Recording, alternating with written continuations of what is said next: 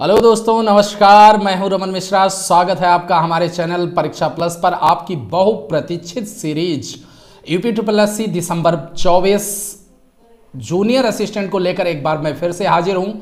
आज दोस्तों, मैं आपसे भाग छः पर बात करूँगा। भाग छः में मैंने शामिल किया है 200 प्रश्नों को। हर दिन होते थे 100 आज मैंने किया है 200 200 ये प्रश्न आपके सबके सब नए हैं। पहली बात, दूसरी 2019 में हुए सारे पैटर्न, जितने पेपर हुए हैं यूपी ट्रिपल एस सी के, उन पर बेस्ड हैं। तो आज के क्वेश्चंस कुछ नए हैं। शुरुआत में थोड़ा सा आपको हो सकता है, आपको ऐसा लग जाए, आ रहा है कि लो लेवल है। लेकिन अंत में सबसे जब आप हंड्रेड के बाद बढ़ेंगे तो थोड़ा सा मैंने पेपर का पैटर्न थोड़ा अच्छा कर दिया है और लास्ट के 150 टू वन टू हंड्रेड, थोड़ा अच्छे क्वेश्चन मैंने डाले हैं, ठीक है? इस तरीके से मैंने बनाया है। तो दोस्तों, एक बार मैं फिर से स्वागत कर रहा हूँ टीम परीक्षा प्लस की ओर से। रमन मिश्रा, आपका बहुत बहुत स्वागत करता हूँ। हिंदी के टॉप 800 क्वेश्चंस और बहुत जल्दी ये सीरीज़ कंप्लीट कर दूँगा कल जहाँ तक कोशिश है। और 800 प्रश्नों की ये एक पूरी पीडीएफ बनाकर आपको टीम उपलब्ध करवा देगी करवा देगी। और दूसरी बात दोस्तों, आप लोगों के कमेंट्स, इतने अच्छे अच्छे कमेंट्स आए, उससे मेरा तो मोटिवेशन बहुत ज़्यादा बढ़ा ही। ठीक है, साथ ही साथ टीम आपके इन कमेंट्स के, पॉजिटिव कमेंट्स के लिए शुक्रगुजार है। और मैं उम्मीद करता हूँ आप सभी का प्यार ऐसे ही हमेशा बना रहेगा, ताकि आगे जो टीम अन्य प्रोग्राम है, जैसे बीईओ e लेकर प्रोग्राम है, इसको लॉन्च करेगी। ठीक है? इसमें आप सभी से सभी का सहयोग अपेक्षित है और ये जो सीरीज़ चला रहा हूँ, इसमें भी खासकर। ठीक है? देर ना करते हुए कुछ इंपॉर्टेंट बातें, जो लोग पुराने हैं, उनका तहे दिल से स्वागत है। जो नए हैं, उनका भी बहुत बहुत स्वागत है। कुछ खास बातें आप लोगों के लिए दोस्तों, जो बहुत ज़रूरी हैं। पहली चीज़ तो हमारा परीक्षा प्लस का जो ग्रुप है फेसबुक का लिंक इसी डिस्क्रिप्शन में है। जाइए वहाँ से, ज्वाइन करिए। हर दिन मटेरियल जितने भी एग्ज़ाम होते हैं, इनसे करंट से सारे इशूज अन्य आपकी कोई क्वेरीज है, उसको ये डालिए। इन सभी का जवाब आपको टीम पर, अपने चैनल इस पर ग्रुप पर देगी। दूसरी चीज़, जितने पीडीएफ अन्य होते हैं मटेरियल आपकी कोई क्वेरी है, उससे लेकर आप टेलीग्राम का चैनल ज्वाइन करें, परीक्षा प्लस का, ठीक है? और इसका एक ग्रुप भी है डिस्कशन ग्रुप है, वो भी ज्वाइन कर लें, ताकि आपसे कोई भी संबंधित सवाल है, वो हमसे डायरेक्ट पूछ सकते हैं। ठीक है, तीसरी चीज़ दोस्तों, मेरी मेहनत देख रहे हैं, ठीक है, मैं रात में भी जगकर आपके ये आठ सौ क्वेश्चन की सीरीज़ पूरी करने की कोशिश कर रहा हूँ। दिन में भी होता है, हमारी ऑफलाइन भी कोचिंग चलती है क्लासेस चल रही हैं। फिर भी समय निकल कर मैं आपके लिए मेहनत कर रहा हूँ टीम पूरी मेहनत कर रही है, ठीक है। तो एक बार इस चैनल को ज़रूर सब्सक्राइब करना है और कुछ अच्छे कमेंट देकर जाओ यार।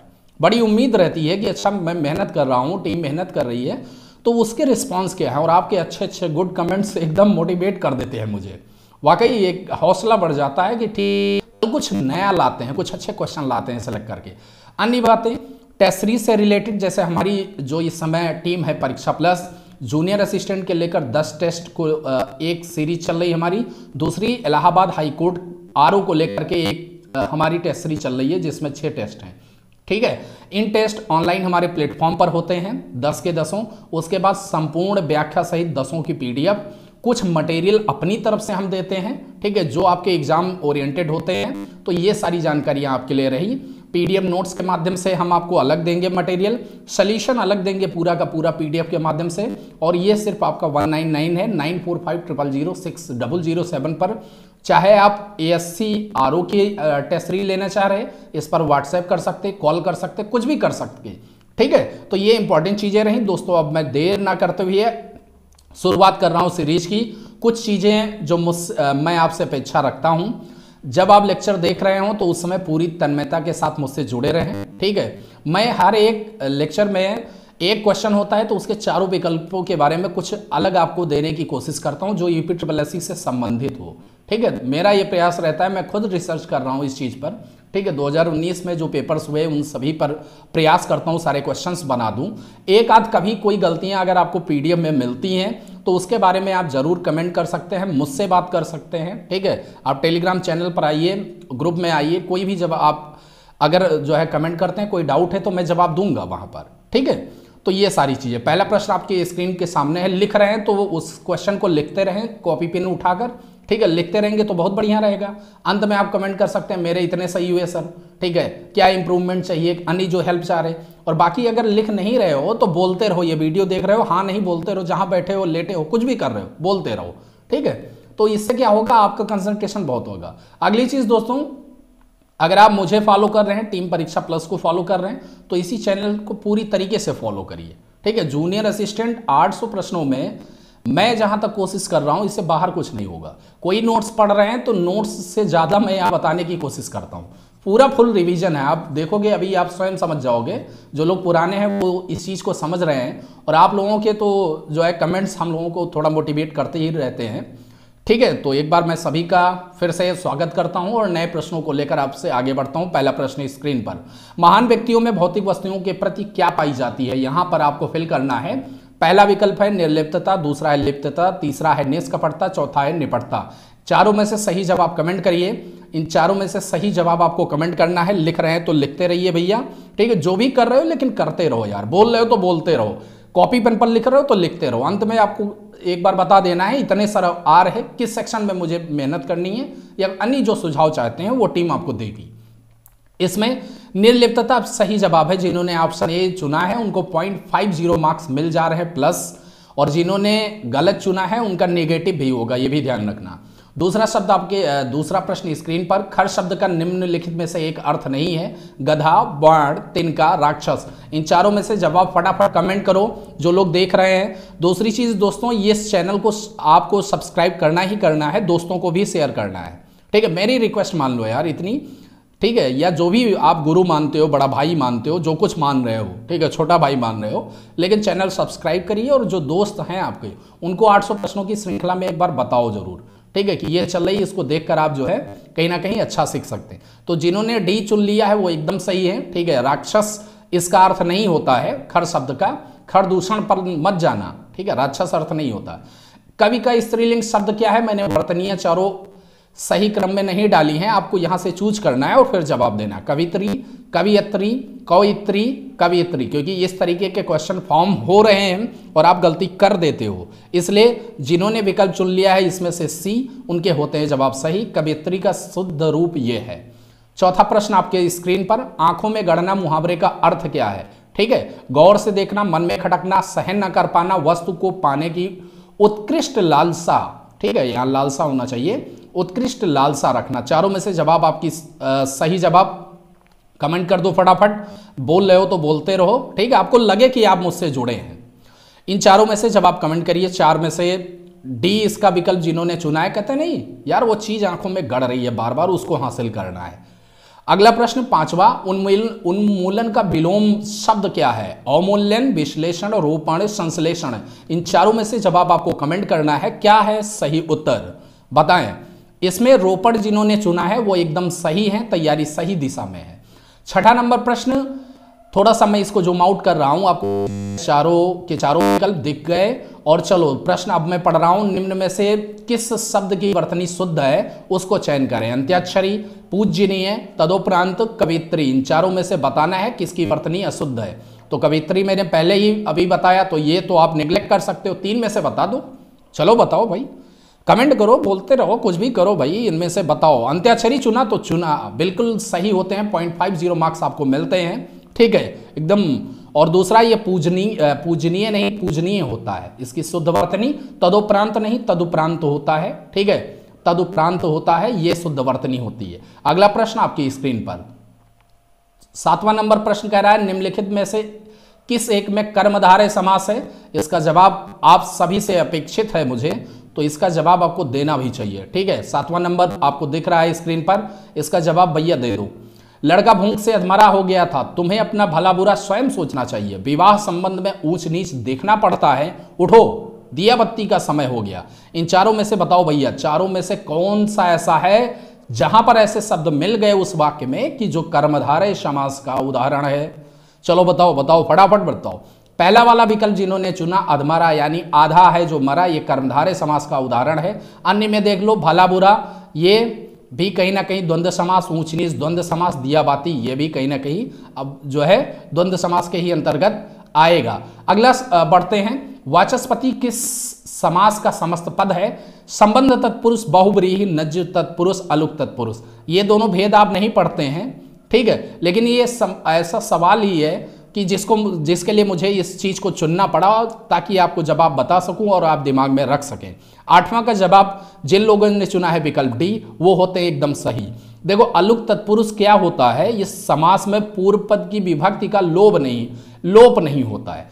जो पहला पद है, जैसे वाच, ठीक, अस्पति, वाचस्पति तो इसमें प्रथम पद की विभक्ति जो भी लगी होगी, वो लोप नहीं होगी, इसलिए इसको जो है अलुक तत्पुरुष अस्पृश्य शब्द में विलोमार्थक बनाने के लिए किस उपसर्ग का प्रयोग करेंगे आप लोग? बताओ। नी, अनु, आ, क्रू, कु। इन चारों में से जवाब आपके आने चाहिए, भैया, फटाफट कमेंट करो। इसमें से सी होगा, ठीक है? आ अगर आप लगा दें तो बन जाएगा आ अस्पृश्य और इसका जवाब विलोम बन जाएगा। ठीक है? दसवां नंबर प्रश्न तुमने गाया होगा। मैंने काल से संबंधित प्रश्न उठाए हैं। काल बहुत ज़्यादा ज़रूरी है व्याकरणिक कोटिया यूपी ट्रिपल एस के एग्ज़ाम में। इन 60 प्रश्नों में अच्छे प्रश्न आपको देखने को मिल जाएँगे व्याकरणिक कोटियों से। विकल्प इस प्रकार हैं। हेत हुत मदभूत अपूर्ण भूत, पूर्ण भूत, संदिग्ध भूत। इन चारों में से जवाब बताओ और जवाब जल्द देने की कोशिश करो, क्योंकि वहाँ 60 प्रश्नों को करने के लिए समय आपके पास कम है दोस्तों। दस नंबर का, दस नंबर का विकल्प डी सही होगा, तुमने गाया होगा यह संदिग्ध है। पता नहीं है कि हाँ हंड्रेड परसेंट है। होगा, अनुमान लगा रहे। निकट भूत में कार्य व्यापार की संपन्नता का सूचक, यानी पूरा होने का सूचक क्या होता है? सामान्य भूत, आसन्न भूत, पूर्ण भूत, अपूर्ण भूत, इन चारों में से बताओ।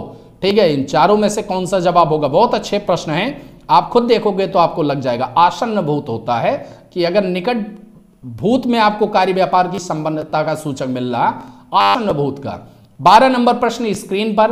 अग का अर्थ क्या है? पाप, अचल, आगे, समुद्र। इन चारों में से बताओ। अग का अर्थ क्या होता है? इन चारों में से बताओ। अग का अर्थ होता है अचल, यानी विकल्प है बी सही, जिन्होंने बी चुना। Point five zero marks add होते हुए अगले में बढ़ते हैं। अगला प्रश्न तेरह नंबर स्क्रीन पर। अतिथेय का अर्थ क्या होता है? आने वाली तिथि, आने वाले मेहमान, अतिथि की सेवा, जिसके आने की तिथि ना हो, इन चारों में से जवाब फटाफट बताओ फटाफट बताओ जवाब दो, अतिथि की सेवा सत्कार अतिथेय कहलाती है, ठीक है? और जिसके आने की तिथि ना हो, वही अतिथि कहलाता है।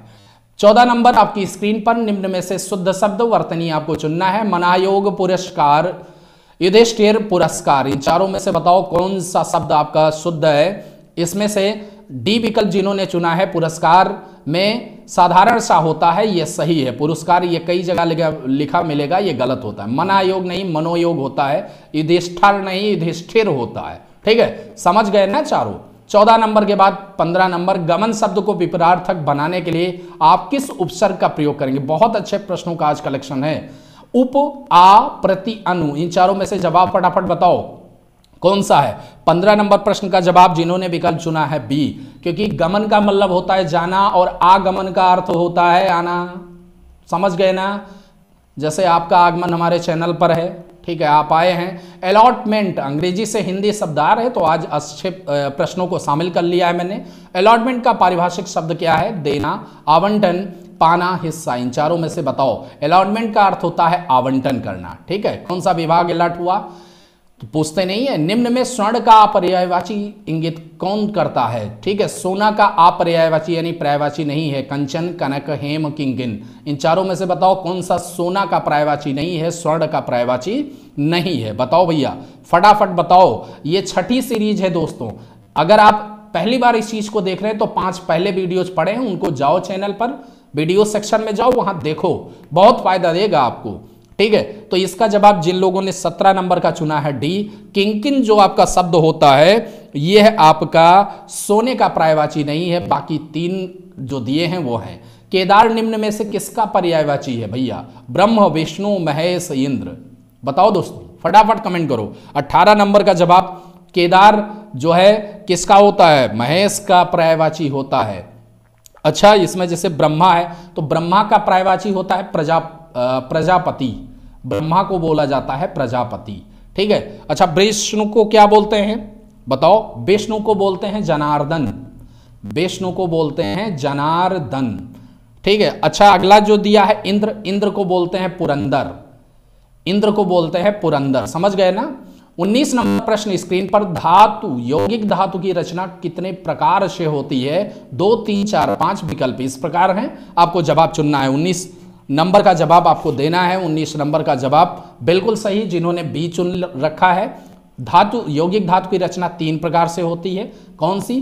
पहले तो धातु में प्रत्यय लगा के बना दो, ठीक है? दूसरी चीज़, जब धातु में प्रत्यय आप लगाओगे तो इससे अकर्मक भी बनती हैं और सकर्मक भी क्रियाएँ बनती हैं। अकर्मक और सकर्मक, ये दोनों क्रियाएँ बनती हैं। दूसरी बात है कि जैसे इसमें दूसरा कौन सा प्रकार होता है? जब दो धातुओं को संयुक्त कर दो तो संयुक्त क्रिया यहाँ से बन जाती है धातुओं को संयुक्त करने पर। तीसरा जो है, तीसरा जो आपका होता है, संज्ञा या विशेषण से नाम धातु बनती है। हो गई या विशेषण हो गया तो इनसे नाम धातु की रचना होती है। दोस्तों, ये तो मैं अभी चला ही रहा हूँ लोअर मेंस के लिए आपके मैं क्लास लेक्चर अपने डालूँगा, जो मैं क्लास में पढ़ाता हूँ, वो भी आपको मिलेगा, ठीक है? तो उसके लिए परेशान नहीं होना है। अन्य जो भी मेरे सब्जेक्ट होंगे, उनके भी लेक्चर आपको मिलते रहेंगे। सकर्मक क्रिया किसे कहते हैं? जिस क्रिया के व्यापार का फल कर्म पर पड़ता है, जिस क्रिया के व्यापार का फल कर्ता पर पड़ता है, जिस क्रिया के करने पर व्यापार का फल अपादान पर पड़ता है, जिस क्रिया के करने पर व्यापार का फल संबोधन पर पड़ता है। जवाब बताओ सकर्मक क्रिया की परिभाषा यूपी ट्रिपल इस बेस पर बहुत चल रही है? तो बीस नंबर का जवाब बी, क्योंकि क्रिया के व्यापार का फल कर्ता पर पड़ता है और यही होती है सकर्मक क्रिया। अगला प्रश्न स्क्रीन पर सकर्मक अकर्मक, द्विकर्मक क्या है? धातु के नाम, क्रिया के भेद, विशेषण के भेद, सहायक क्रिया के भेद। इन चारों में से जवाब आपको चुनना है और जवाब सही होते हैं बी, यानी क्रिया का भेद। समझ गए ना? ठीक है? 21 नंबर के बाद 22 नंबर संयुक्त क्रिया बनती है किससे? चलो बताओ। संयुक्त क्रिया क्या दो से अधिक धातुओं के मेल से बनती है या दो से अधिक सकर्मक क्रिया के मेल से बनती है, दो से अधिक अकर्मक क्रिया के मेल से बनती है या दो से अधिक प्रेरणार्थक क्रिया के मेल से बनती है? तो 22 नंबर का जवाब आपको अच्छा पहले जवाब तो मैंने बताया नहीं ना आपने हम बढ़ गए। तो इसका जवाब सही है क्या? ए, दो से अधिक धातुओं के मेल से संयुक्त क्रिया, अभी पहले ही इससे ऊपर वाले में बताया है मैंने। ठीक है? अकर्मक क्रिया इनमें से पहचानना है। मैं घड़ा भरता हूँ बूंद बूंद से घड़ा भरता है विपदा मुझे घबराती है, वह तुम्हें देखता है। ठीक है? चारों में से जवाब बताओ, अकर्मक क्रिया कौन सी है? बूंद बूंद से घड़ा भरता है, यह अकर्मक क्रिया का उदाहरण है। चौबीस नंबर प्रश्न, स्क्रीन पर निर्धन में कौन सी संधि है? विसर्ग, स्वर, व्यंजन या उपयुक्त में से तीनों? बताओ भैया, फटाफट जवाब दो। जवाब देते रहो यार, थोड़ा सा मेरा भी मन लगा रहता है। ठीक है? अब दिन में तो चलो क्लासेस लेता हूँ, रात में भी आकर आप लोगों के वीडियो शूट जो है शूट करता हूँ, कोशिश करता हूँ कि मिल जाए भैया, ठीक है? तो थोड़ा सा जो है हौसला बढ़ाते रहो कमेंट देते रहो अच्छा अच्छा मुझे मोटिवेट करते रहो। थोड़ा सा कमेंट पढ़ के मेरा खुद हक का हौसला बढ़ता है टीम का, ठीक है? तो इसमें बताओ निर्धन, देखो निर्धन विसर्ग संधि है, जब निधन धन करोगे आप, ठीक है? तो ये नि, जैसे विसर्ग हटेगा तो यहाँ पर रा हो जाता है तो ये निर्धन बन जाता है, समझ गए ना? अगला प्रश्न है, पच्चीस नंबर, नमस्ते शब्द का संधि विच्छेद बताओ। नमाधनस्ते नमस्धनते नमाधनते नम धनस्ते ठीक है, बताओ इन चारों में से क्या होगा? नमस्ते का सही संधि विच्छेद बता दो। देखो, नमस्ते है विसर्ग संधि। क्या है? विसर्ग संधि। और इसका जब आप संधि विच्छेद करोगे तो बनेगा नमः धनते। और जैसे विसर्ग से ये हटेगा, विसर्ग हटेगा तो इसकी जगह पर सा हो जाता है। इसीलिए नमाधनते होता है, नमस्ते का सही संधि विच्छेद। 26 नंबर प्रश्न स्क्रीन पर। कौन सा शब्द है जो संधि भी है, समास भी है? विद्याधन, पंचानन, नीलकंठ, महाजन। इन चारों में से आपको जवाब चुनना है। चारों में से जवाब 26 नंबर का आप कमेंट करें। कौन सा जवाब इसमें से सही है? देखिए, विकल्प बी चुना तो आप हकदार हैं पॉइंट फाइव ज़ीरो के। और अन्य जो चुना तो आप आगे समझदार हैं। ठीक है? किसी में हकदार बनोगे, किसी में समझदार। पंचानन एक ऐसा शब्द है जो संधि भी है और क्या है? समास भी है। पंच आनंद, पाँच हैं आनंद जिसके तो ये तो समाज का उदाहरण हो गया। और संधि करोगे तो पंच धन आनंद बना दोगे। समझ गए ना? चलो, सत्ताईस नंबर, व्याख्या बहुत आराम से सुनना। ठीक है, नोट्स वगैरह मैं बता रहा हूँ कि आपको पढ़ने की ज़रूरत नहीं, अगर 800 प्रश्नों को मेरे देख लिया, अच्छे से। सिर दर्द शब्द में समाज बताओ, क्या सिर दर्द बने हो? कर्म धारे, तत्पुरुष, अव्ययी भाव बहुबरी चारों में से बताओ भैया, फटाफट बताओ। चारों में से जवाब क्या है? कमेंट कर रहे हो तो कमेंट करो, बोल रहे हो तो बोलो कि हाँ ये होगा। जहाँ बैठे हो, लेटे हो, कहीं भी हो यार। ठीक है, ठंडी का मौसम है, रजाई हो, बोलते रहो। सत्ताईस नंबर बताओ। सत्ताईस का होगा बी। सिर दर्द में तत्पुरुष समास होता है, सिर का दर्द। समझ गए ना? अट्ठाईस नंबर नारियल शब्द का तत्सम रूप बता दो। नारिकेल नारिकेल, नारकेल, नारिकेला। इन चारों में से जवाब बताओ भैया, फटाफट बताओ। पहले आओ, पहले पाओ की स्कीम है मेरी। ठीक है, जो जवाब देगा जल्दी, उसको पॉइंट फाइव ज़ीरो मार्क्स मिलेंगे। अरे भाई, सही करने पर। अब गलत कर दोगे तो मैं कैसे दे दूँगा? 28 नंबर बताओ। 28 का जवाब चुन रहे हो ए तो है आप सही सही दिशा में जा रहे हो। ठीक है, तैयारी अच्छी है मतलब। इनमें से विदेशी शब्द बता दो भैया। राष्ट्र, निरंतर व्यक्ति, दौरान। इन चारों में से बताओ, बहुत कंफ्यूजिंग ऑप्शन है। ठीक है ऑप्शन बहुत कंफ्यूजिंग है इनमें से। उनतीस नंबर का जवाब, चुन रहे हो विकल्प डी तो मैं पॉइंट फाइव ज़ीरो आपके मार्क्स अकाउंट में ऐड कर रहा हूँ। दूसरा चुन रहे हो तो गलत है। ठीक है, तब मैं नहीं दे पाऊँगा। देखो, दौरान फारसी भाषा का शब्द है। ठीक है, दौरान फारसी भाषा का शब्द है। तीस नंबर प्रश्न, वाक्यों से संबंधित डाला है, शुद्ध वाक्य बताना है। हम तो अवश्य ही आएँगे। वाह भैया। तब शायद यह काम ज़रूर हो जाएगा। यह कविता अनके भाव प्रकट करती है, अनेक होना चाहिए। ठीक है, इस बात के कहने में किसी को संकोच ना होगा। चलो, इन्हीं चारों पर बता दो, जैसा लिखा है, इनमें से शुद्ध वाक्य क्या होगा। चलो, तीस नंबर का जवाब दो। तीस नंबर का जवाब, भैया, फटाफट बताओ। तीस नंबर का जवाब बताओ भैया। तीस नंबर का जवाब बताइए, अगर विकल्प कौन सा चुन रहे हो? अच्छा ये सी वाला तो एकदम सही है। देखो, यहाँ क्या लिखा, हम तो अवश्य ही आएँगे। हम तो हम अवश्य ही आएँगे। ठीक है, ये शुद्ध होता बोलने तो अपन सपन बोलते रहते हो तो शुद्ध थोड़ी है व्याकरण की दिन। तब शायद यह काम ज़रूर हो जाएगा। अरे, तब यह काम ज़रूर हो जाएगा। तब शायद काम ज़रूर हो जाएगा, ऐसा बोलते हो, ठीक है? तब यह काम ज़रूर हो जाए। तब अगर देखो, शायद लगा दोगे तो ज़रूर हटा दो। तब यह सही होगा। इस बात के कहने में किसी को संकोच न, इस बात को कहने में, के नहीं, को, समझ गए ना? चलो, इकतीस नंबर बता दो, फिर से मैंने अंग्रेज़ी से हिंदी, बैलेट का सही हिंदी शब्द क्या है? मत पत्र, परिपत्र, सूची पत्र, आवेदन पत्र। इन चारों में से जवाब बताओ भैया बताओ बताओ, जल्दी बताओ यार, इकतीस नंबर इकतीस नंबर। ए मत पत्र बैलेट का अर्थ होता है मत पत्र कहते नहीं, बैलेट चुनाव भैया, अब तो ईवीएम वाला सहारा है। शुद्ध वाक्य के सही विकल्प चयनित करिए। कमीज तो सिल गया, लेकिन बटन लगना है अभी। ठीक है? कमीज तो सिल गया, पर बटन नहीं लगा। कमीज तो सिल गया, पर बटन लगने बाकी हैं।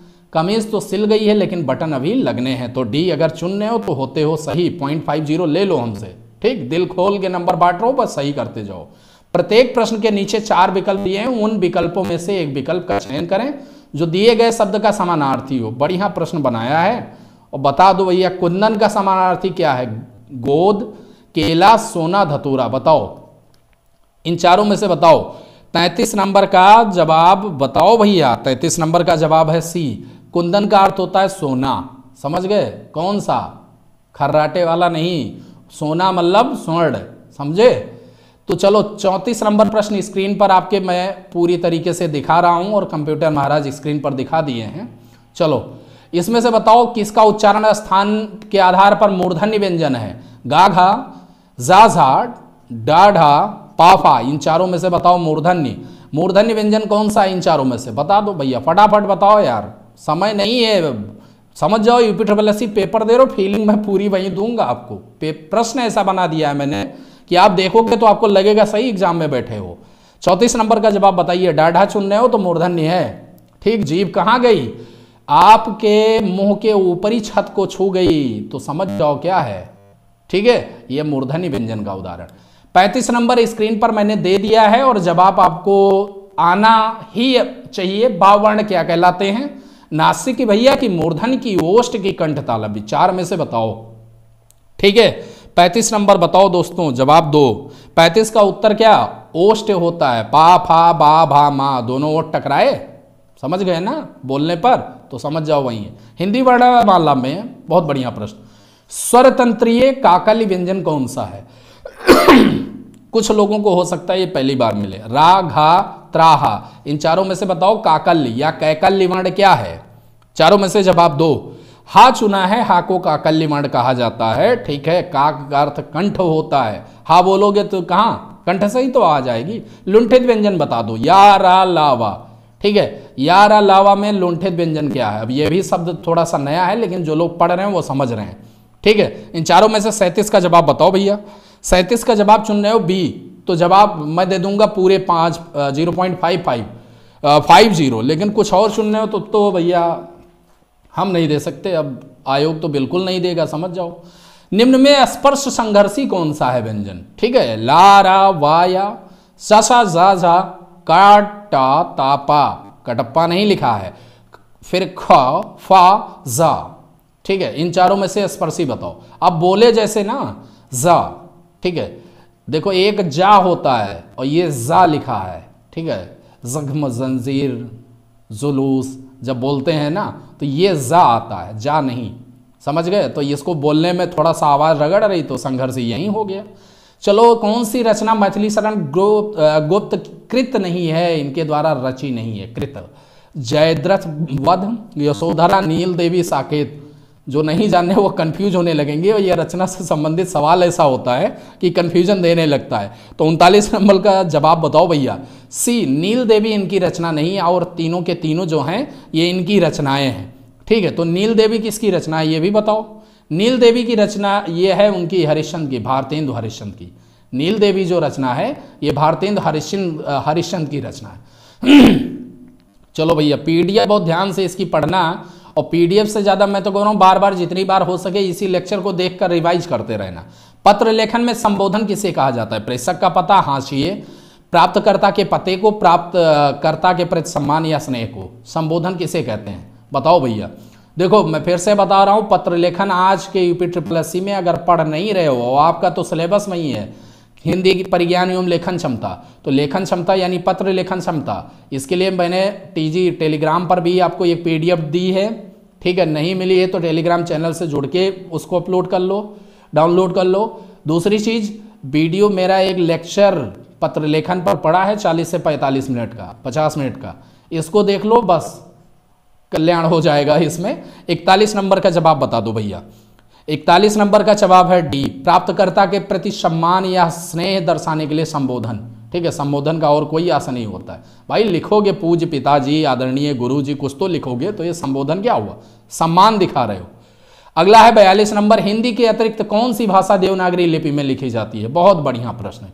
बताओ, सिंधी, पंजाबी, बांग्ला, नेपाली, हिंदी के अतिरिक्त कौन सी भाषा है जो देवनागरी लिपि में लिखी जाती है? बताओ इन चारों में से। सिंधी लिखी जाती, पंजाबी, बांग्ला, नेपाली। नेपाली भैया, इसी में लिखी जाती है आपके, देवनागरी लिपि में। बाएँ से दाएँ जो लिखी जाए, समझ जाओ। क्या है, देवनागरी? सितंबर मास में दसवां विश्व हिंदी सम्मेलन भारत के किस शहर में आयोजित किया गया था? पुराना प्रश्न है तो हम क्या पूछ ले, देखे, यादवाद है आप लोगों को। नागपुर में भोपाल, नई दिल्ली, जयपुर। बताओ। इन चार में से जवाब दो फटाफट। ठीक, देखो, दसवां वाला ये वहाँ हुआ था, भोपाल में। और भोपाल में हुआ था महीना चल रहा था सितंबर का, ठंडी। अरे, उतनी नहीं 2015 पंद्रह की बात है, ठीक है? तो ये 2015 की बात है। भोपाल में हुआ था दसवां वाला विश्व हिंदी सम्मेलन। चौवालीस नंबर, निरालम शब्द में विच्छेद बताओ। निराधन आलम, निधन आलम, निराधन आलम, अलम्ब और निर्धन आलम, इन चारों में से बताओ। हम तो नहीं बताने जा रहे। चौवालीस नंबर का जवाब बताओ। निधन आलंब करोगे ना, ये विसर्ग संधि का उदाहरण है तो निधन आलम्ब बन जाता है निरालंब और निधन आलम विकल्प भी, और चुन लिया है तो जब भैया पॉइंट फाइव ज़ीरो ले लो। ठीक है? इनमें कौन स्वर संधि का उदाहरण है? पवन है, कि नमस्कार है, कि मनोहर है, कि संयोग है। नमस्कार, मनोहर पहले ही बता दिया विसर्ग संयोग भी है। समधन योग बनता है। स्वर संधि पवन ही बनती है। पोधन करोगे तो पवन बन जाएगी। और ये उदाहरण किसका है? अयादि संध का उदाहरण है। ठीक है? चलो अगला बता दो। छियालीस नंबर है, महेश्वर शब्द का शुद्ध संधि रूप कौन सा होगा? महेधन ईश्वर महाधन ईश्वर महाधन ईश्वर, महा, महाधन ईश्वर। इन चारों में से बताओ विकल्प सी चुने हो तो सही है पॉइंट फाइव ज़ीरो ले जाओ। दिल खोल कर नंबर बांट रहा हूँ आज। ठीक है, सही करने पर। देव जो महान है, या किस समाज का उदाहरण है? तत्पुरुष अबेई भाव कर्मधारे, द्वंद। देव जो महान है, बहुत बढ़िया मैंने लाइन लिखी है। सैतालीस नंबर का जवाब बता दो, और सी चुन रहे हो तो एकदम सही है। लेकिन महादेव आगे अगर पूछ लिया तब, और बहुबरी दे दिया तो बहुबरी मारना पहले। ठीक है, महादेव भगवान भोले शंकर को कहते हैं, भैया, योगदान में कौन सा समाज बहुबरी अभय भाव तत्पुरुष, कर्मधारे चारों में से जवाब आपको देना ही देना चाहिए, भैया। मेरी तो अपेक्षा यहीं से है, अब आप उपेक्षा मत करना। चलो बताओ, अड़तालीस नंबर अड़तालीस नंबर से क्या है? सी विकल्प सही है। योगदान में जो है, तत्पुरुष समास है। समझे? अगला बताओ नीचे दिए गए विकल्पों में से तत्सम शब्द का चयन करें। आम्र, दूध, शहीद, खिड़की, इन चारों में से बताओ। आम्र एकदम सही है, इसका तद्भव आम होता है। बात, बाकी ये खिड़की वाला तो वातायन होता है बार बार बोलता हूँ। यूपीपीसीएस भी बोल दिया इससे पहले भी सीरीज़ में। तो जो लोग हिंदी की सीरीज़ मेरी ये देख कर गए होंगे यूपीपीसीएस से पहले तो मुझे नहीं लगता एक भी क्वेश्चन बाहर होंगे, बस पाँच पैसेज अगर मैं छोड़ दूँ। ठीक है? कहने की ये बात नहीं है, लेकिन अगर आपने ये इसको देख कर आप गए होंगे तो सी सेट में पूरे के पूरे प्रश्न आपको यहीं से मिल जाएँगे। पचास नंबर है। पचास नंबर कह रहा है कि दिए गए विकल्पों में तद्भव शब्द का चयन कीजिए, बैंक, अमीर अग्निमुह इनमें से तद्भव आपको बताना है कौन सा शब्द है। पचास का डी। मुँह जो शब्द होता है, इसका जो है तत्सम होता है मुख। और मुँह जो है, ये तत्सम, वो तद्भव है। तो समझ गए ना? अगला है, वह बहुत सोता है। में सोना कौन सी क्रिया, कर्मक, सकर्मक, प्रेरणार्थक, सहायक? इन चारों में से बताओ भैया, वह बहुत सोता है। अब इसमें कहीं सहायक हेल्पिंग वर्ब तो लग नहीं रही। इक्यावन नंबर इक्यावन नंबर का जवाब चुन रहे हो क्या? बी कि ए इक्यावन नंबर का जवाब अगर आप चुन रहे हो बी तो सोना जो है अकर्मक क्रिया है। समझ गए ना? अगला है, घोड़ा दौड़ रहा था, इस वाक्य में क्रिया बताओ, बहुत बढ़िया। घोड़ा दौड़ रहा था, इन चारों में से बता दो। कौन सी इसमें जो है वाक्य में क्रिया क्या होगी? दौड़। समझे, जिससे किसी काम का होना या करना पाया जाए, वही तो क्रिया की परिभाषा तो दौड़। कमल का पर्यायवाची शब्द बताओ। अरविंद मदन मयंक अचल। तेज़ी से नहीं चल रहा हूँ, मैं एकदम एकदम आपको लग रहा होगा कि आप एग्ज़ाम में बैठे हो, इसलिए ऐसा बता रहा हूँ। कमल शब्द का पर्यायवाची शब्द बताओ। अरविंद है, मदन है, मयंक है, अचल है, इन चारों में से जवाब बताओ। तिरपन नंबर तिरपन नंबर तिरपन नंबर, ए, अरविंद। समझ गए ना? अच्छा चलो, मदन का भी बता दो ना। तो मदन कामदेव का होता है। मदन जो है, ये कामदेव का होता है। अच्छा मयंक की बात की जाए तो मयंक होता है उसका चंद्रमा का भी और अचल का अगर मैं बात करूँ तो स्थिर का प्रायवाची है। समझ गए ना? चारों के, चारों विकल्प आपके क्लियर हो गए। निम्न में से कौन सा विकल्प किरण का प्रायवाची नहीं है? इसको पढ़ लेना भैया। दिमाग हमसे तेज बन जाता है, हमारा ही दिमाग हमसे तेज बन जाता है। तो हम नहीं नहीं पढ़ते हैं। अंशु प्रकाश रश्म मयूरीन कौन सा किरण का इसमें से प्रायवाची नहीं है? चौवन नंबर जवाब बताओ भैया, चौवन नंबर जवाब आपने दिया है डी। तो डी एकदम मयूर अलग है भाई, ये मोर का प्रायवाची होता है। पचपन नंबर भाड़ झोंकना का अर्थ बता दो। अनाज भूनना, काम बिगाड़ना, मामूली कमाई करना, व्यर्थ समय नष्ट करना। ठीक है, अब देखते नहीं, भाड़ झोंकता है, जिससे क्या, बढ़िया इस समय मक्के भुनवा लो और बढ़िया जो है चबाओ। तो भाड़ झोंकना पचपन नंबर बताओ भैया, पचपन नंबर का विकल्प डी चुन रहे हो तो सही है। मतलब व्यर्थ समय नष्ट करना। और ये यूट्यूब आप लेक्चर देख रहे हो, मेरा तो ये व्यर्थ समय नहीं नष्ट है। ये समझ जाओ, कहीं ना कहीं आपको बहुत मज़बूत बना रहा है। उन प्रतियोगी जो है प्रतियोगी योगी जो आपके छात्र मित्र हैं, जो कहीं ना कहीं लगातार अलग इधर उधर भटक रहे हैं, सही जगह पर नहीं है यूपी ट्रिपल एससी के ट्रेंड पर नहीं है टीसीएस के पैटर्न को नहीं समझ रहे हैं। वो कहीं ना कहीं भटकाव की स्थिति में है। तो उनसे आप बहुत अच्छे जगह पर हो। ये मान के चलो, आप क्वेश्चन देखोगे, आपको खुद एहसास होगा कि हाँ मैं कुछ कर रहा हूँ आपके लिए। लंगोटी में फाक खेलना, पहलवानी करना, व्यायाम करना, ब्रह्मचारी होना, ठीक है? और अगला होता है दरिद्रता में आनंद मनाना इन चारों में से बताओ, लंगोटी में फाक खेलना का अर्थ क्या है? देखो, पहलवानी करना तो लंगोटी जब कस के पहलवानी होती है, व्यायाम भी होता है। ब्रह्मचारी का अर्थ ये नहीं कि आप लंगोटी पहन के फाक खेल ले तो ब्रह्मचारी हैं। ठीक है? दरिद्रता में आनंद मनाना होता है। जो व्यक्ति दरिद्रता में आनंद मना रहा है, उसके पास पहनने कुछ नहीं है, तब ऐसा हम जो है विलोम उसके लिए यूज़ कर सकते संस्कार शब्द में उपसर्ग बता दो भैया। शम, सन, सम सन। चारों में से बताओ फटाफट जवाब दो यार। जवाब देते रहो अच्छा लगता है हमें। ठीक है?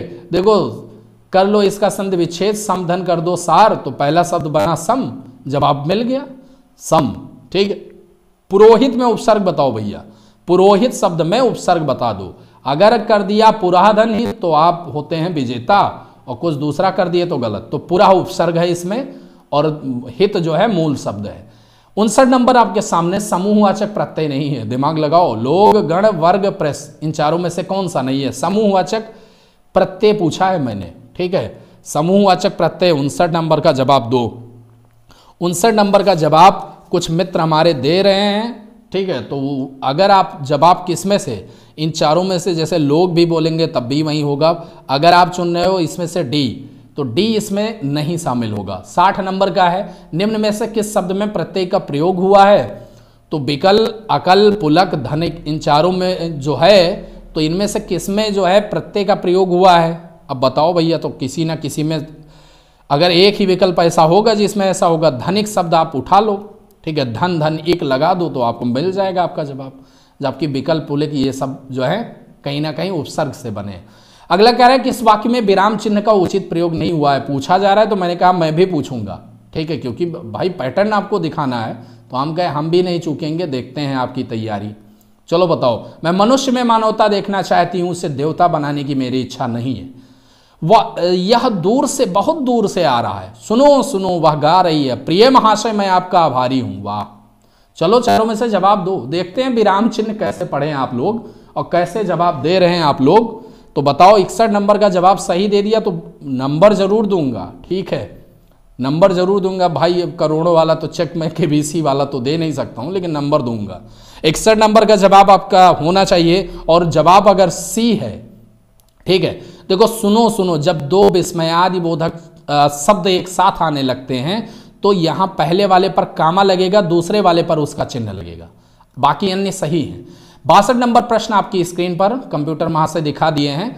जहाँ वाक्य की गति अंतिम रूप ले विचार के तार टूट जाएँ, वहाँ किस चिन्ह का प्रयोग करोगे? ठीक है? योजक लगा दोगे, अल्प विराम उदाहरण की पूर्ण चिन्ह, इन चारों में से क्या लगा दोगे? बता दो बासठ नंबर। बासठ नंबर का जवाब बताओ भैया। बासठ नंबर का जवाब डी। जहाँ वाक्य अंतिम रूप लेगा, वहाँ एक खड़ी पाई खींच देते हैं। ठीक है, डंडा। और ये होता है पूर्ण विराम। शब्दांश और शब्दों के मेल से जो रचना होती है, वो क्या कहलाती है? मूल शब्द, यौगिक, उपसर्ग, प्रत्यय, इन चारों में से बताओ। ठीक है? तिरसठ नंबर का जवाब, तिरसठ नंबर का जवाब है आपका बी। यौगिक शब्द आपका होता है जो शब्दांश और शब्दों के मेल से जिसकी रचना। अगला प्रश्न फिर से उसी से, ठीक है? शब्दांश कितने प्रकार के? एक, दो, तीन, चार। वन टू थ्री फोर ठीक है? बताओ। एक, दो, तीन, चार बताओ भैया, जल्दी बताओ। चौसठ नंबर। चौसठ नंबर का जवाब अगर सुन रहे हो बी तो मैं दे दूँगा पॉइंट फाइव ज़ीरो आपको मार्क्स। ठीक है? वो आयोग को भी देना पड़ेगा। अगर ऐसा पूछ लिया। अब ये बताएँ कि कैसे? तो एक बना दो उपसर्ग जोड़ के, दूसरा बना दो प्रत्यय जोड़ के, बात बन गई आपकी और हमारी। समझ गए ना? चलो, बहुत बढ़िया है भैया। देवेंद्र का समानार्थी नहीं है। इन चारों में देवेश नहीं, वासो नहीं, वांछा नहीं मधवा नहीं। इन चारों में जवाब बताओ भैया, पैंसठ नंबर का और मैं तुरंत मार्क्स दूँगा। ठीक है? पैंसठ नंबर का जवाब बता दो। उत्तर दे दिया सी वांछा होता है इच्छा का अर्थ, समानार्थी। समझ गया बाकी सब इसी के हैं। मनोज का समानार्थी नहीं है। कामदेव, सूर्यदेव, आग, कमल, इन चारों में से मनोज का समानार्थी है। देखो, अब यही चीज़ होता है। कामदेव अभी ऊपर भी बताया है। चलो, अगला है। प्रश्न पूरा दिखा दूँ। एक जो है, वाक्य था, उस वाक्य को मैंने चार पार्ट में डिवाइड किया और आपसे पूछ लिया। देखो, यहाँ पर कह रहा है कि वाक्य के जिस पार्ट में आपको गलती मिले, उसको चिन्हित करो। ना हो तो डी मार के आगे बढ़ जाओ। पुलिस द्वारा चोरी का माल बरामद हो गया है, वो कोई त्रुटि है या नहीं भैया बताओ इस पुलिस द्वारा चोरी का माल बरामद हो गया। अब भैया पुलिस द्वारा तो चोरी होगी नहीं, यही गलत हो गया। ठीक है? सड़सठ का जवाब आपका, ये ही गलत हो गया। पुलिस द्वारा चोरी नहीं यार, चोरों द्वारा चोरी की जाती है। पुलिस अब चोरी करेगी। ठीक है? तो ऐसी चीज़ें नहीं करनी है, पुलिस चोरी नहीं करती। हम मानते हैं भैया, अब आगे हालात चाहे जो हों। चलो ये बता दो भैया अड़सठ नंबर प्रश्न स्क्रीन पर मैंने आपके दे दिया है। निम्नलिखित में से कौन सी बोली उत्तर प्रदेश में बोली जाती? बांगरू, हड़ौती, ठीक है? बुंदेली, कन्नौजी, इन चारों में से बताओ। कौन सी बोली है अड़सठ नंबर? और अड़सठ नंबर जवाब डी। कन्नौजी अपने यहाँ बोली जाती है, और तो इनमें से नहीं। मामला अभी विचाराधीन है। बहुत ध्यान से पढ़ना, फिर जवाब देना। वाक्य का उचित अंग्रेज़ी अनुवाद बताओ। The matter is still the matter is consideration the matter is under consideration the matter is still under consideration the matter still consideration बताओ, कौन सा जवाब सही है? देखते हैं आज कौन महारथी इसका जवाब सही देता है। 69 नंबर। 69 का जवाब है सी जिन्होंने चुना, उनको मैं 0.50 दे रहा हूँ। अगला मैंने हिंदी पूछ लिया। ठीक है, अंग्रेज़ी सही है आपकी तो हिंदी बता दो। एप्लीकेशन में बी रिजेक्टेड वाक्य का हिंदी अनुवाद बताओ। आवेदन अस्वीकृत किया जाए। आवेदन अस्वीकार करें, आवेदन स्वीकार ना करें, आवेदन अस्वीकार किया जा सकता है। बोलो एप्लीकेशन में बी रिजेक्टेड इसकी सही हिंदी मतलब डी विकल्प चुनने हो तो ले जाओ, खुला मार्क्स ले जाओ, सही है। निम्नलिखित में से कौन सा शब्द स्त्रीलिंग है? देश नगर द्वीप, झील। इन चारों में से बताओ, लिंग से संबंधित सवाल होते हैं तो मैं सवाल दूँगा। इकहत्तर नंबर का जवाब, अगर विकल्प डी चुन रहे हो, झील तो ले जाओ मार्क्स एकदम खुले, बढ़िया कर रहे हो, बहुत बढ़िया पढ़ रहे हो। ऐसे ही पढ़ते रहो लगातार सिलेक्शन कोई रोक नहीं पाएगा। उत्पत्ति के आधार पर शब्दों के चार भेद किए गए हैं, तत्सम, तद्भव, यौगिक। एक विकल्प क्या हो गया? एक विकल्प विदेशी, बताओ उत्पत्ति के आधार पर। तो विदेशी तो उत्पत्ति के आधार पर है या नहीं, ये आप जाने। और जवाब मुझे चाहिए तो जवाब मैं जानूँगा। मैं भी सही बताऊँगा क्या है परेशान हूँ? बहत्तर नंबर का जवाब बताओ पहले। बहत्तर नंबर का जवाब देखो अगर सी चुन रहे हो तो सी तो भैया बिल्कुल नहीं होता ये उत्पत्ति के आधार पर नहीं रचना के आधार पर बनते हैं। अगला है आपका तिहत्तर नंबर थोड़ा सा जूम इन कर रहा हूँ ये दिख गया पूरा वाला ठीक है। इसमें कह रहा है आ, आ के बाद अगर ई, है और उसका मेल हो गया और ए की मात्रा आ गई ठीक है तो परिवर्तन को क्या कहोगे? गुण कहोगे वर्ण कहोगे अयादि कहोगे यण कहोगे चारों में से बताओ। जहाँ पर सिंगल मात्रा मैंने बताई है, ये मात्रा हो या ये इसकी मात्रा हो तो गुण संधि आँख बंद करके मान लेना और मार के चल देना। ठीक है, बाकी तो निपट ही लेंगे आयोग से हम लोग। अगला है, निम्नलिखित में से महादेवी वर्मा द्वारा लिखित रेखा चित्र कौन सा है? बहुत बढ़िया बढ़िया प्रश्न डाले हैं कि आराम से कंफ्यूज हो जाओ। रेखाएँ और चित्र, रेखाएँ बोल उठी, अतीत के चलचित्र रेखा चित्र रेखा चित्र कौन सा है? महादेवी वर्मा ने लिखा है चौहत्तर नंबर। और जवाब कुछ दोस्तों के आ रहे हैं तो सी अगर चुन लिए हो भैया तो सही है। अतीत के जो चलचित्र हैं, ये इन्होंने ही लिखा है। समझ गए ना? चलो, अगली तरफ़ जो है, बढ़ रहे हैं पचहत्तर नंबर। और पचहत्तर नंबर में प्रश्न थोड़ा सा छोटा कर रहा हूँ, क्योंकि ऐसा प्रश्न मैंने शामिल किया है कि थोड़ा सा आपको समझने में भी अच्छा लगे और मुझे बताने में भी अच्छा लगे। चलो, प्रश्न दिख गया ना? हाँ ठीक है, अब बताओ। ठीक है, संज्ञा के भेद से सुमेलित करना है, बहुत सोच समझ के जवाब देना। जुलाई महीना कुंज पानी, इधर चार महीने ऑप्शन दे दिया, व्यक्तिवाचक, जातिवाचक, द्रव्यवाचक, समूहवाचक। चलो, कुछ समय दे रहा हूँ, आराम से सोच लो, फिर कमेंट करो जवाब अपना। इन चारों में से पचहत्तर नंबर जो है, आराम से सोच लो, फिर बताओ। कुछ लोग सोच भी लिए होंगे, कुछ लोग अभी मिलान कर रहे हैं, बताओ, फटाफट बताओ। इन चारों में से बताओ। देखो, जुलाई जो है, ये व्यक्तिवाचक संज्ञा है। ठीक है तो डी मिल गया, वैसे मार सकते हो। अगर पचहत्तर नंबर डी एक ही विकल्प मिला, ठीक, जुलाई व्यक्तिवाचक संज्ञा है, मैना जो है, ये जातिवाचक संज्ञा है, कुंज जो है, ठीक है, कुंज को किसमें रखोगे? समूह में। ये, और पानी को कर दो, द्रव्यवाचक में। तो समझ गए ना? छिहत्तर नंबर तामसिक का विलोम आपको बताना है, क्या होगा? सात्विक होगा, अभय होगा, ठीक है, कि आपका दृढ़ होगा, कि आपका सामिस होगा। बताओ। तामसिक का बताना है तो तामसिक का विलोम इसमें से क्या होगा भैया? बताओ, छिहत्तर नंबर छिहत्तर नंबर अगर जब आप चुन रहे चुन रहे हो ए तो मैं दे दूँगा फुल मार्क्स मैं नहीं रोकने वाला, सात्विक होता है। देखो, सामिस का विलोम आपका ये एक बार पूछा भी है, निरामिस होता है। सतहत्तर नंबर का जवाब कौन सा रूढ़ शब्द नहीं है इनमें से? स्त्री नहीं है कि पत्थर नहीं, कि देवता नहीं, कि महर्षि नहीं, चारों में से बताओ। चारों में से सतहत्तर नंबर का जवाब आपका आना चाहिए, ऐसा मुझे आपसे अपेक्षा है। और अगर आप विकल्प चुन रहे हो, डी, महर्षि, क्योंकि महर्षि यौगिक शब्द है। जब आप करोगे महाधन ऋषि तो बन जाएगा महर्षि। समझ गए ना? महाधन ऋषि करोगे, आ का मेल री से हो रहा तो अर बन जाता है। समझ गए ना? अगला नंबर है अठहत्तर नंबर। किन तत्वों की व्याकरण के अंतर्गत आवश्यक रूप से विवेचना की जाती है? ठीक है? वर्ण, शब्द, वाक्य, उपरोक्त सभी बताओ, फटाफट बताओ। व्याकरण के अंतर्गत किन तथ्यों को शामिल किया जाता है? और जवाब आपके अगर 78 के बनते हैं डी तो आप समझ जाओ। देखो, व्याकरण के तीन अंग हैं। व्याकरण के तीन अंग हैं। जो व्याकरण चलता है, हिंदी व्याकरण, इसके तीन अंग।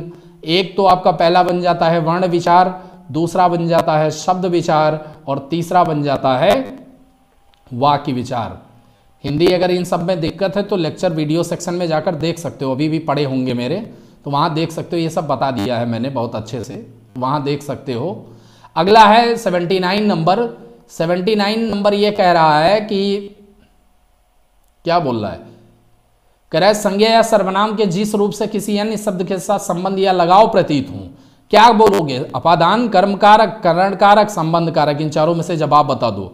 79 का जवाब हमें चाहिए। संज्ञा या सर्वनाम के जिस रूप से अन्य शब्द के साथ संबंध लगाओ। मिल जाए, उसको कौन सा कारक बोलते हो? संबंध कारक बोलते हो ना? छियत अस्सी नंबर सवाल देखिए, जिन संज्ञाओं के अंत में त्रा होता है, वो क्या होती हैं? संस्कृत शब्द होते हैं, संधि होती स्त्रीलिंग, पुल्लिंग, इन चारों में से जवाब बताओ। जिन संख्याओं के अंत में त्रा होता है, वो क्या होते हैं? बताओ भैया, जवाब दो यार। मैं तो जवाब चाहूँगा आपसे। देखो, ये सब पुल्लिंग होती हैं। अब देखो, जैसे कौन कौन सा है? जैसे पात्र ले लो, नेत्र ले लो, छात्र ले लो, ठीक है? छात्र तो नहीं डाल सकते। छात्र डाल सकते भैया, छात्राएँ होगा। तो इन सब के अंत में त्रा है? पुल्लिंग हो गया ना? बात सही हो गई ना? इक्यासी नंबर, रमेश कल दिल्ली जाएगा, इस वाक्य में कल शब्द क्या है? दिख रहा है ना? संज्ञा है क्रिया विशेषण है, संज्ञा विशेषण है, कर्म है, बताओ। चारों में से बता दो भैया, इक्यासी नंबर का जवाब क्या है इन चारों में से? अगला कर्म लिखा है डी विकल्प में तो चारों में से बताओ क्या है? इक्यासी नंबर का जवाब बताओ। देखो, बी चुन रहे हो, क्रिया विशेषण तो एकदम सही चुन रहे हो, नंबर में देकर जाऊँगा। अगला है, बयासी नंबर बयासी नंबर का जवाब आपको देना है भैया। अक्षी और अक्षी का सही शब्द युग्म क्या होगा? बहुत ध्यान से देना, जवाब नहीं तो गलत करोगे। आजकल ये पूछ रहा है यूपी ट्रिपल एस आँख वाली और आँख धुरी और आँख आँख और आँख वाली, काजल और आँख। ठीक है, बताओ, इससे पुराने वाले में एक लोकोक्ति पूछी थी मैंने। आँख नहीं, एक कजरौटा दस याद है ना, बयासी नंबर। तो बताओ इसका बयासी का। देखो, अक्ष का मतलब होता है आँख, और अक्षी का मतलब होता है आँख वाली। और यहाँ सिर्फ़ अक्ष लिख देता तो उसका मतलब धुरी होता। कंफ्यूज मत होना। तिरासी नंबर आरती और आरती शब्द का सही शब्द क्या होगा? पूजा के लिए दीपक और विराम विराम और पूजा के लिए दीपक, श्री निरांजन और पूजा के लिए दीपक, डी है निरांजन और विराम। इन चारों में से जवाब बताओ भैया। तिरासी नंबर का जवाब अगर आप विकल्प दे दिए हो बी। ठीक है? क्योंकि आरती का अर्थ होता है विराम, जिस पर छोटी ई की मान और आरती का मतलब होता है पूजा के लिए दीपक। तिरासी नंबर प्रश्न के बाद चौरासी नंबर स्क्रीन पर मूँगा का प्रवाची शब्द नहीं है, प्रवाल विद्रुम। सरवरी रेक्तमणि इन चारों में से बताओ कौन सा मूँगा का नहीं है? अगर चौरासी नंबर का विकल्प चुन लियो, सी तो एकदम सही हो, क्योंकि सरवरी होता है रात का विलोम। सरवरी, निशी, ये सब रात ही के होते हैं। पचासी नंबर, लड्डू खाए जाते हैं तो खाओ भैया। ठीक है सिलेक्शन जब लेना तो हमें भी खिलाना। कृतवाच्य, कर्मवाच्य, भाववाच्य, इनमें से कोई नहीं। चलो बताओ चारों में से पचासी नंबर बताओ। पचासी नंबर का बी है कर्मवाची लड्डू खाए जाते हैं ना, लड्डू पर सारा ध्यान है। अगला है छियासी नंबर भाववाची का देखो, वाच्य पूछ रहा व्याकरणिक कोटिया तो मैं तो भैया प्रयास करता हूँ कि सब कुछ बता दूँ आपको। वाची छियासी नंबर का, मुझसे बैठा नहीं जाता, आराम से खाया नहीं जाता, मुझसे या बोझ उठाया ना जाएगा, धूप में चला नहीं जाता। बताओ भैया भाववाची का प्रयोग बताओ। भाववाची धूप में चला नहीं जाता, ये क्या है? ये कहीं ना कहीं कर्मवाची है और सब भाववाची हैं। गरीब शब्द में संज्ञा बता दो। बहुत बढ़िया प्रश्न है और इतनी धड़ाके से गलत करोगे, ये भी बता रहा हूँ। जहाँ थोड़ी जल्दबाजी बताए ना, वहाँ एग्ज़ाम में तो वहाँ धड़ाक से गलत करके आओगे। गरीब शब्द में संज्ञा बताओ। व्यक्तिवाचक है, जातिवाचक, भाववाचक, कि इनमें से कोई नहीं, कोई और है। संज्ञा के पाँच प्रकार है। बताओ इनमें से। सतासी नंबर का जवाब अगर आपने सही बताया तो आप समझ जाओ कि एकदम अच्छे रणनीति पर हो। ठीक है? सतासी नंबर का अगर आपने जवाब बताया है तो कमेंट भी ज़रूर करना वीडियो में कि इसमें कौन सी संज्ञा है। लिख देना सतासी नंबर क्वेश्चन, जवाब ये। ठीक है? मेरा सही है। बताओ इनमें से सतासी नंबर का डी सही होगा, क्योंकि गरीब शब्द संज्ञा है ही नहीं भैया। गरीब विशेषण विशेषण है।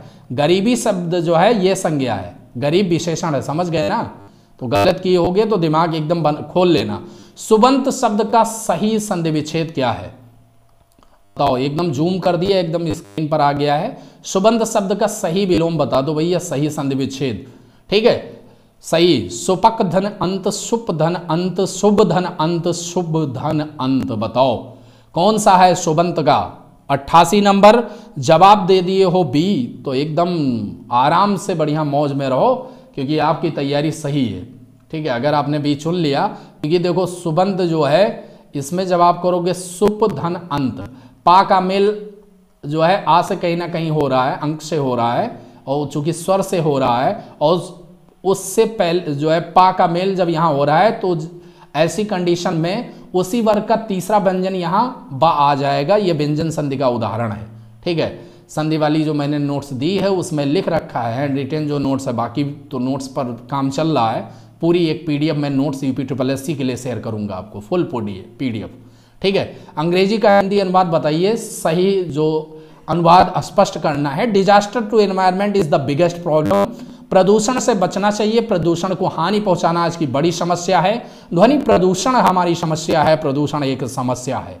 बताओ चारों में से। जवाब दो disaster to environment is the biggest problem now answer is 89 B पर्यावरण को हानि पहुंचाना आज की बड़ी समस्या है। This is the right answer now नब्बे नंबर प्रश्न स्क्रीन पर, छायावादी रचनाकार कौन है? नागार्जुन, मुक्तिबोध, सुमित्रानंदन पंत, त्रिलोचन शास्त्री। बताओ इन चारों में से कौन सा जवाब सही है? नब्बे जवाब दे दियो भैया सी तो आँख बंद करके एकदम हो जाओ खुश पॉइंट फाइव ज़ीरो ले लो मेरी तरफ़ से खुशी खुशी ठीक है? आज नंबर बांट रहा हूँ। अच्छे कर रहे हो अच्छा कर, देखो भैया, प्रश्न का लेवल ऐसा है ना ये कि आपको खुद से भी लग रहा होगा कि हाँ बहुत बढ़िया प्रश्न मिल रहे हैं। और इसीलिए अगर आप सही कर रहे हो तो मेरा भी उत्साह आपके साथ बढ़ रहा है। ठीक है कमेंट करके ज़रूर एक बार बताना लास्ट में कि ये टेस्ट सीरीज़ जो सीरीज़ हिंदी की मैं चला रहा हूँ, इतनी मेहनत हमारी टीम कर रही मैं खुद कर रहा हूँ यार। तो ये कैसा है थोड़ा सा मतलब इसके बारे में थोड़ा अच्छे अच्छे कमेंट देना, अपने व्यूज़ किया कि हाँ भाई, आपके लिए मैं मेहनत कर रहा हूँ, सार्थक दिशा में है या नहीं। नब्बे नंबर का जवाब छायावाद के बारे में अगर सुमित्रानंदन पंत को चुन लिया तो बहुत बढ़िया किया। ये छायावाद के प्रमुख रचनाकार हैं। आधे अधूरे किस विधा की रचना? कविता है, कहानी है, नाटक उपन्यास है। मैंने बताया ना, यूपी ट्रिपल अस्सी इस नए ट्रेंड पर सवाल पूछता है तो मैं सब कुछ देख के, अच्छे से समझ के ये आठ सौ प्रश्न बनाया हूँ आपके लिए। इक्यानवे नंबर का जवाब, सी चुन लिए हो नाटक, आधे अधूरे ये नाटक है। अच्छा इससे तो काम बनेगा नहीं, किसका है ये भी बता तो जाओ। मोहन राकेश, बहुत प्रसिद्ध राइटर रहे हैं तो मोहन राकेश का ये नाटक। आजकल कहाँ समय मिलता है? समय मिलता है तो हम चेतन भगत को पढ़ते हैं। गलल सुधारिप करें मिताई, ठीक है? गलल सुधारिप करें मिताई लोकोक्ति का अर्थ बताओ मेरे भाई। चलो बताओ बताओ, मैं भी मतलब शायर नहीं हूँ तो एक आध तो जोड़ ही सकता हूँ यार। गरल सुधारिप करे मिताई लोकोक्ति का अर्थ क्या है? दोष किसी का, सजा किसी को। किसी भी अनुचित बात का समर्थन करना, दो विरोधी स्वभाव वालों का मिलन, संयोग से काम बनना। चलो बताओ भैया, चारों में से जवाब बता दो तो मान गए तुमको हम बानबे। उत्तर दिया है सी तो एकदम प्रसन्न हो जाओ, पॉइंट फाइव ज़ीरो फिर ले जाओ। ठीक है, कौन सा घर से देना है यार? ले जाओ ले जाओ। और ये सब सही कर रहे हो ना तो UP triple S junior assistant मान लो तुम्हारे हाथ में। 800 की ये सीरीज़ बार बार देख लेना पीडीएफ पूरे पढ़ लेना, जितना बता रहा हूँ वो सुन लेना ट्रिपल से बाहर नहीं जाएगा। ठीक है? क्योंकि मैं ईमानदारी से लगा हूँ, मुझे इतना विश्वास है अपने पर। देखो, गरल होता है अमृत, और गरल होता है बेस, और सुधा होती है अमृत। ठीक है? और रिप मतलब होता है शत्रु। ये दोनों अगर शत्रु मिताई कर लिए आपस में तो क्या मतलब हुआ? अगर ये दोनों मिताई कर ले तो ज़ाहिर सी बात है कुछ तो गड़बड़ है। ठीक है? तो दो विरोधी स्वभाव वालों का जो मिलन होता है, उनके लिए लोकोक्ति का ये इस्तेमाल करते हैं। गाँव वाले और क्या बोलते हैं? चोर चोर, मोसेरे भाई। समझ गए ना? ये भी एक होता है। चलो, अगला प्रश्न तिरानबे सामने, वह खंबा गिर जाएगा। कौन सा विशेषण है? प्रत्येक बोधक निश्चय परिणामवाचक, निश्चयवाचक, सार्वनामिक विशेषण, संबंधवाचक, सार्वनामिक विशेषण। तिरानबे का जवाब आप सभी से अपेक्षित। उत्तर चुन लियो सी। तो एकदम भैया ले जाओ, पूरा फुल मार्क्स ले जाओ, जितना लेना है एकदम, ठीक है? अच्छे अच्छे, एकदम जो है, आप प्रश्न बढ़िया कर रहे हो तो ये मान के चलो यार, तैयारी हो रही है, किसी से कोई भी डिप्रेशन में नहीं जाना है, ठीक है? अगर यहाँ प्रश्नों के आप जवाब दे रहे हो तो आप ये मान के चलो पढ़ाई अच्छी दिशा में है। इतना विश्वास रखिए मेरा, ठीक है? मैंने बताया ना, गुरु मान रहे हो तो गुरु मान के बड़ा भाई मान रहे हो, बड़ा भाई मान के दोस्त मान रहे हो, दोस्त मान के छोटा भाई मान रहे हो, छोटा भाई मान के, ठीक है, मार्गदर्शक मार्गदर्शक मान रहे हो, मार्गदर्शक मान के। लेकिन यहाँ प्रश्न अच्छे कर रहे हो तो अपने आप पर विश्वास रखो थोड़ा सा ठीक है? ये अच्छी चीज़ है भाई। संबंध बोधक विस्मयादि बोधक समुच्चय बोधक क्रिया जो है, विशेषण। अच्छा प्रश्न तो पढ़ा नहीं ना? ये देखो, ऐसा पद जो क्रिया या संज्ञा की विशेषता ना बताकर एक पद या पद का संबंध दूसरे वाक्य या पद से जोड़ता हो, वो क्या कहलाता है? संबंध बोधक की विस्मयादि बोधक की समुच्चय बोधक की क्रिया ऐसा पद है जो क्रिया या संज्ञा की विशेषता नहीं बताता। एक वाक्य को दूसरे वाक्य से या पद से जोड़ दे या एक पद को दूसरे पद से जोड़ दे तो ये सब काम करने वाले समुच्चय होते हैं। ठीक है? समुच्चय बोधक। पत्र से फिर से डाल दिया, गंदगी की समस्या से पीड़ित मोहल्ला वासियों को। की ओर से नगर पालिका अध्यक्ष जी को लिखा गया पत्र निम्नलिखित में से किस श्रेणी के अंतर्गत आएगा, बताओ। पुराना प्रश्न है वीडियो का तो मैंने कहा पूछ ही लूँ। प्रार्थना पत्र आवेदन पत्र, व्यापारिक पत्र, शिकायती पत्र, इन चारों में से बताओ। देखो, समस्या है तो शिकायत करोगे भैया, ठीक है? और शिकायत का क्या होता है? निदान होता है कि हल होता है। अब ये तुम जानो, ढूंढो, तुम्हारा काम है। छियानवे नंबर, जब एक अधिकारी दूसरे अधिकारी को व्यक्तिगत नाम से पत्र लिखता तो क्या कहते? हैं शासकीय, अर्धशासकीय? टिप्पणी कार्यालय ज्ञापन, इन चारों में से जवाब दो। छियानवे नंबर का जवाब अगर बी चुन लिए हो तो एकदम सही है भैया। ये अर्धशासकीय पत्रों के अंतर्गत आते हैं। सत्तानवे नंबर कह रहा है, जीवा के आधार पर स्वर के कितने प्रकार हैं? और विकल्प देख लो भैया, दो, तीन, चार छः चारों में से देखो आराम से। जीवा के आधार पर पूछा, यानी जीव आपकी। तो ज़ाहिर सी बात है, जीव या तो सबसे आगे उठा लो, या तो सबसे पीछे, या तो बीच में। इससे ज़्यादा तो है नहीं। ठीक है, बाबा रामदेव का आसन इसमें नहीं चलेगा। अट्ठानवे नंबर बताओ। बहुत बढ़िया प्रश्न है, समस्त पद है, समास का सही मेल करना है। और जवाब देखो, विकल्प पहले तो ये पढ़ लो पूरा। सूची वन में दिया वागदत्ता, धर्माधर्म, सप्ताह, कमल नयन। और विकल्प मैंने बहुत बढ़िया बढ़िया रखे एकदम कंफ्यूज हो जाओ। सही करके मैं दे रहा हूँ, कर्मधारय, द्वंद, तत्पुरुष, देगु। चलो, समय भी दे रहा हूँ। मिलान कर लो एकदम, जो है, टीप के, और फिर बताओ जवाब दो। अट्ठानवे नंबर, टीप का मतलब मतलब दिमाग बैठा के यार, गलत मत समझना। मैं मानता हूँ आप लोग मेहनती हो। अट्ठानवे नंबर का अगर चुन लिए हो बी तो एकदम सही हो। क्यों? देखो, कमल नयन इसमें लिखा है तो कमल नयन होता है कर्मधार, एक तो जान ही गए। और अगर धर्माधर्म लिखा है तो धर्माधर्म क्या है? द्वंद्व समास है। धर्माधर्म का मतलब होता है, ये लिखा है धर्म और अधर्म। धर्माधर्म इसलिए आ रहा है, ठीक है? धर्म और अधर्म, दो विपरार्थक एक साथ लिखे तो द्वंद्व समास हो गया। अब भैया, सप्ताह क्या होता है? ये दिग होता है। वागदत्ता तत्पुरुष तो समझ गए ना? बहुत बढ़िया। निन्यानवे नंबर प्रश्न आपकी स्क्रीन पर है। भीष्म पितामह ने आजीवन शादी ना करने का प्रण लिया था। आजीवन शब्द में क्या है? अविभाव है, तत्पुरुष है, कर्मधारय है, दिगु है। बताओ, फटाफट जवाब दो भैया, एकदम। काम इसी से बनेगा। देखो, काम निन्यानवे नंबर का ए अगर चुन लिए हो, आजीवन, मैंने बताया था ना, आ लगा हो, यथा लगा हो, ठीक है, प्रति लगा हो, ये सब जहाँ लगे हैं, ये सब अव्यय हैं, और जिन शब्दों के साथ लग जाएँगे, उसको पूरा का पूरा अव्यय बना देते हैं। तो ये अव्ययी भाव समास का उदाहरण है, आजीवन। बहुब्री समास का उदाहरण कौन सा है? त्रिफला, चक्रधर, यथा संभव, धर्मवीर। इन चारों में से जवाब आपको चुनना है। बहुब्री समास, चक्रधर, यानी चक्र को धारण करने वाला भगवान विष्णु, ठीक है? तो इसका जवाब होगा 101 नंबर। निकटवर्ती दो वर्णों के मेल से उत्पन्न विकार, जो विकार उत्पन्न होता, उसे क्या कहते हैं? समास, संधि, प्रत्यय या सर्वनाम, इन चारों में से जवाब बता दो भैया। देखो, दो निकटवर्ती वर्णों के मेल से जो विकार उत्पन्न होता है वह संधि कहलाती है। बहुत बढ़िया। सही कर रहे हो मतलब एकदम मेरा भी दिल लग जाता है और आपका तो लगा ही लगा है। और अच्छे अच्छे कमेंट से बता के जाना तो थोड़ा सा और हौसला बढ़ जाता है। ठीक है? नहीं, तुम्हारे यार कमेंट पढ़ के थोड़ा मोटिवेशन मुझे भी मिलती है, इसलिए मैं चाहता हूँ कि आप थोड़ा अच्छा लिख के जाओ चैनल के बारे में टीम के बारे में, मेरे बारे में, रमन मिश्र के बारे में थोड़ा बहुत। देखो, दीर्घ, गुण, वृद्धि, यण, इन चारों में से बता दो, पुस्तकालय में संधि कौन सी है? ठीक है, इसका संधि विच्छेद करोगे, आपको जवाब मिल जाएगा। तो पुस्तक धनालय बनता है भैया, और पुस्तक का अंतिम वर्ड का में जो है आ लगा है। आ का मेल आले से कराओगे, बड़ा हो गया तो आओ, धन बड़ा आ का मेल, क्या बन जाता है? ये बन जाएगा आपका दीर्घ संधि तदभो शब्द का चयन कर लो। सुर, निडर, गति, कमल, इन चारों में से बताओ तदभो कौन सा है? 103 नंबर का जो जवाब है, अगर निडर दे रहे हो तो एकदम सही है। निडर का तद्भव क्या होता है? निर्धर। ठीक है, निर्धर होता है इसका तत्सम। अगला है संयुक्त क्रिया के भेद बता दो। कितने हैं? पाँच, सात, नौ, ग्यारह। संयुक्त क्रिया के भेद बता दो। ग्यारह संयुक्त क्रियाएँ होती हैं। ठीक है? अब लिख तो नहीं रहा हूँ, कहो तो बोल दूँ। बोल रहा हूँ, सुन लो उसमें पीडीएफ में भी लिख दिया हूँ। पहली होती है आरंभ बोधक, दूसरी होती है समाप्ति बोधक, तीसरी होती अवकाश बोधक, चौथी होती है अनुमति बोधक, पांचवी होती है नित्यता बोधक, छठी होती है आवश्यकता बोधक, सातवीं होती है निश्चय बोधक, आठवीं होती है इच्छा बोधक, नौवीं होती है अभ्यास बोधक, दसवीं होती है शक्ति बोधक, ग्यारहवीं होती है पुनरुक्ति बोधक।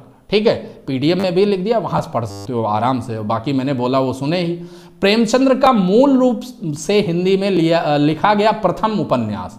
देवस्थान श्री सेवा सदन कायाकल्प वरदान। ये सब इन्हीं के हैं। लेकिन अब बताना तो आपको है। बताओ भैया 105 105 अगर कायाकल्प चुन लियो तो एकदम आराम से ले जाओ, फिर से नंबर ले जाओ। फिर से मुंशी प्रेमचंद को पूछ लिया मैंने। मुंशी प्रेमचंद का पिता प्रदत्त नाम क्या था? धनपत राय, नवाब राय आत्माराम अजायब राय, बताओ इन चारों में से। एक सौ छः नंबर का जवाब, अगर आपने चुना ए तो मुंशी प्रेमचंद का नाम था धनपत राय। जान गए ना? चलो भैया, अगला प्रश्न फिर बहुत बढ़िया, साहित्य से। सुमित्रानंदन पंत को किस कृति पर ज्ञानपीठ पुरस्कार दिया गया? साहित्य के लिए ज्ञानपीठ पुरस्कार दिया जाता है और इस बार वाला भी जो दिया गया है वो याद करके जाना, ये सब ज़रूरी होते हैं।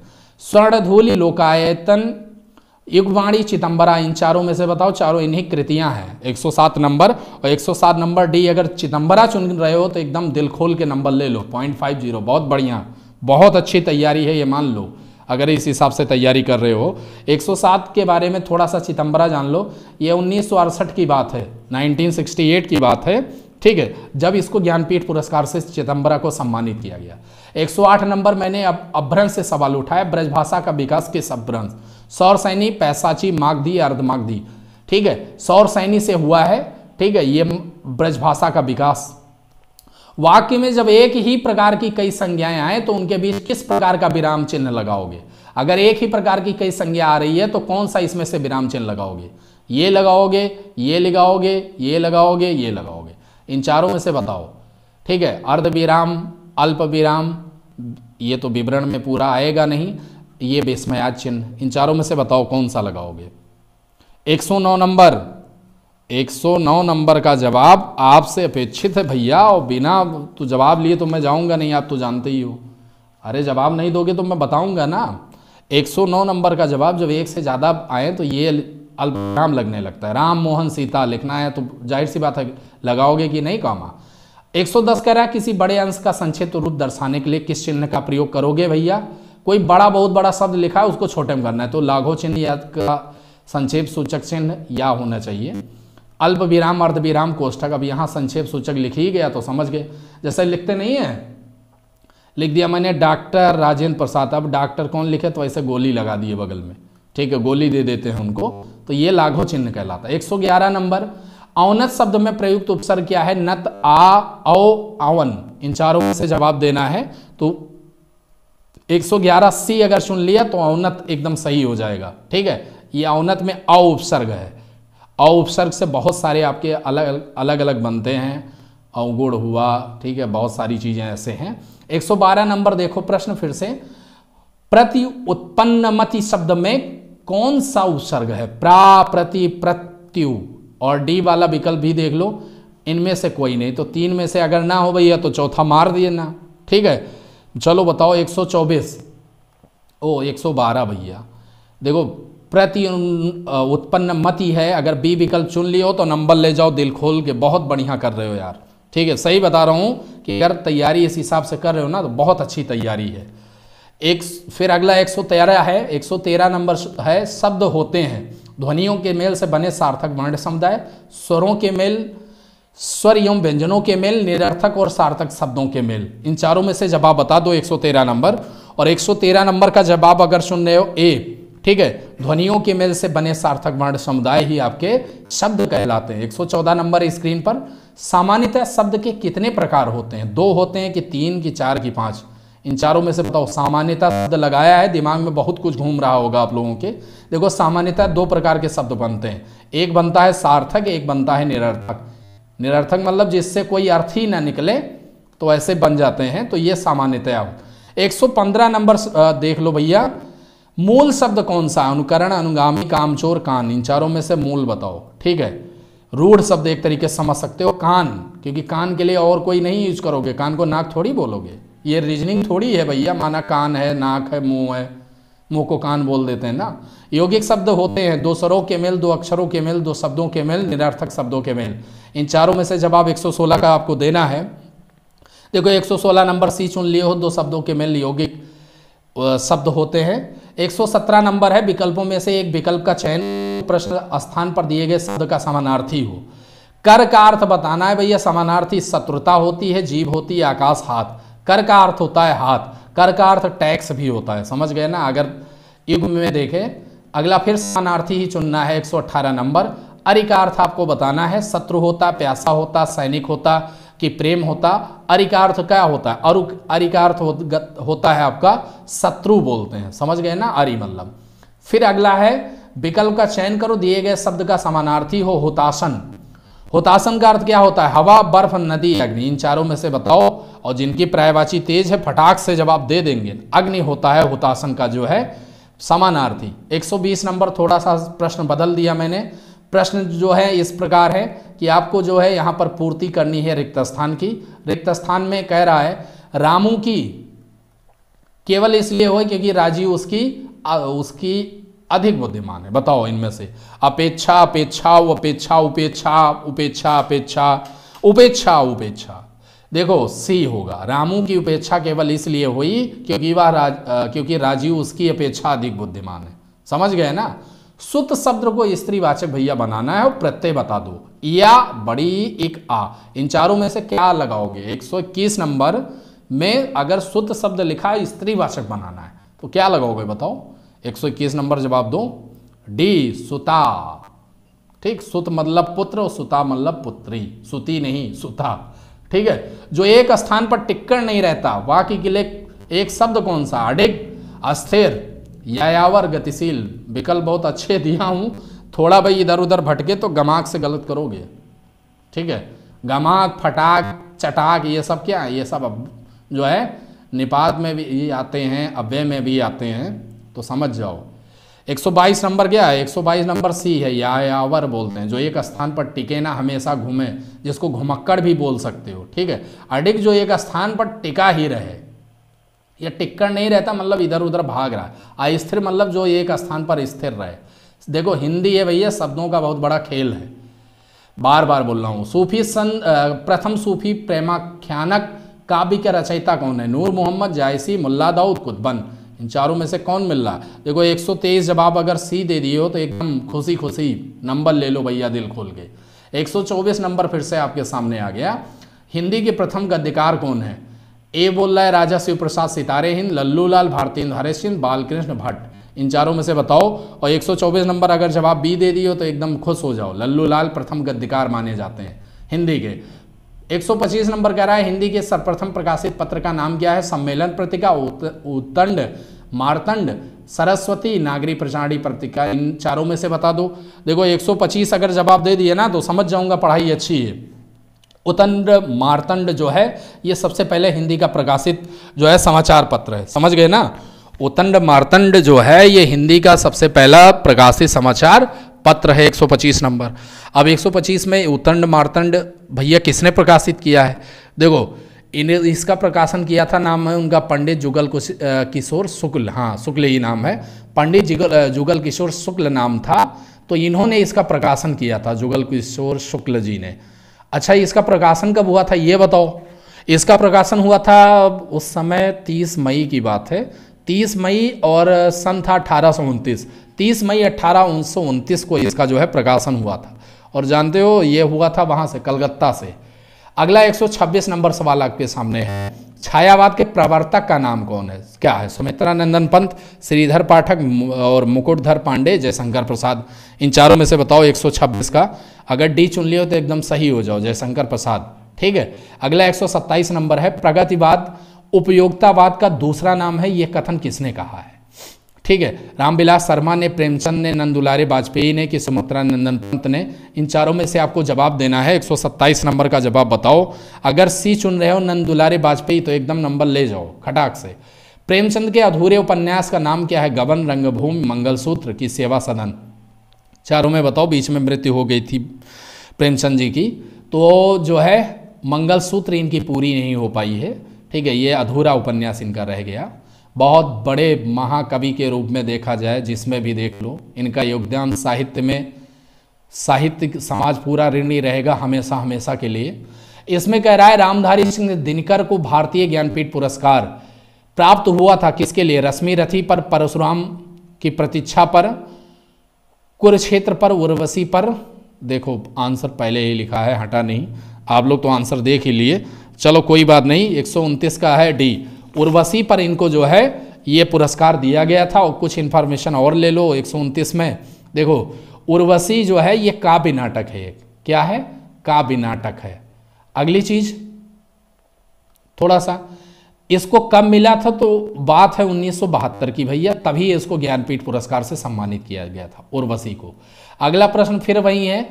एक प्रश्न जो है बाकी को चार उसमें डिवाइड किया गया है, जिसमें गलती मिल जाए, उसको गलत कर दो, ना मिले तो डी गलत जो है चूज़ कर लो। रामचरित मानस भक्तिकाल की सबसे श्रेष्ठतम रचना मानी जाती है। कोई त्रुटि है या नहीं?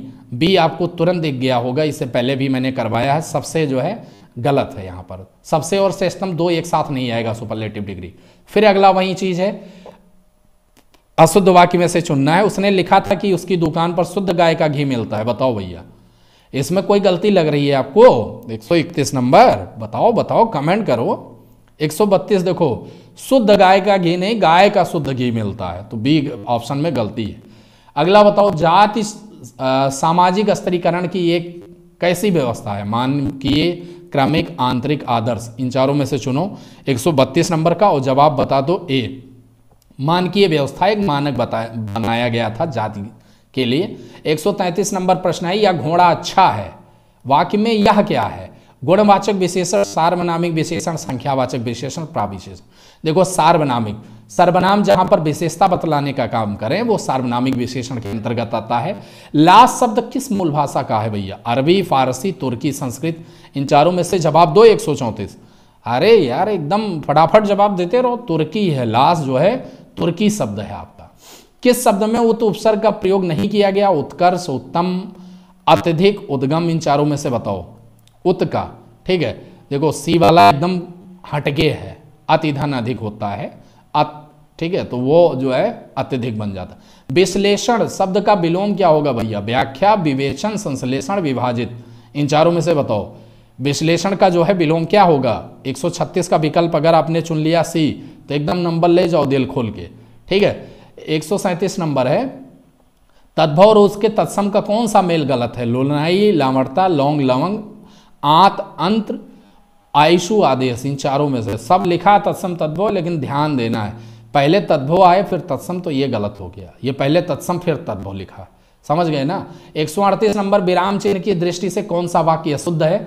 हाँ मेरा विचार यही है, वह ईमानदार परिश्रमी कर्मठ और मृदभाषी, उसके पास धन, वैभव, नौकर चाकर सब कुछ है।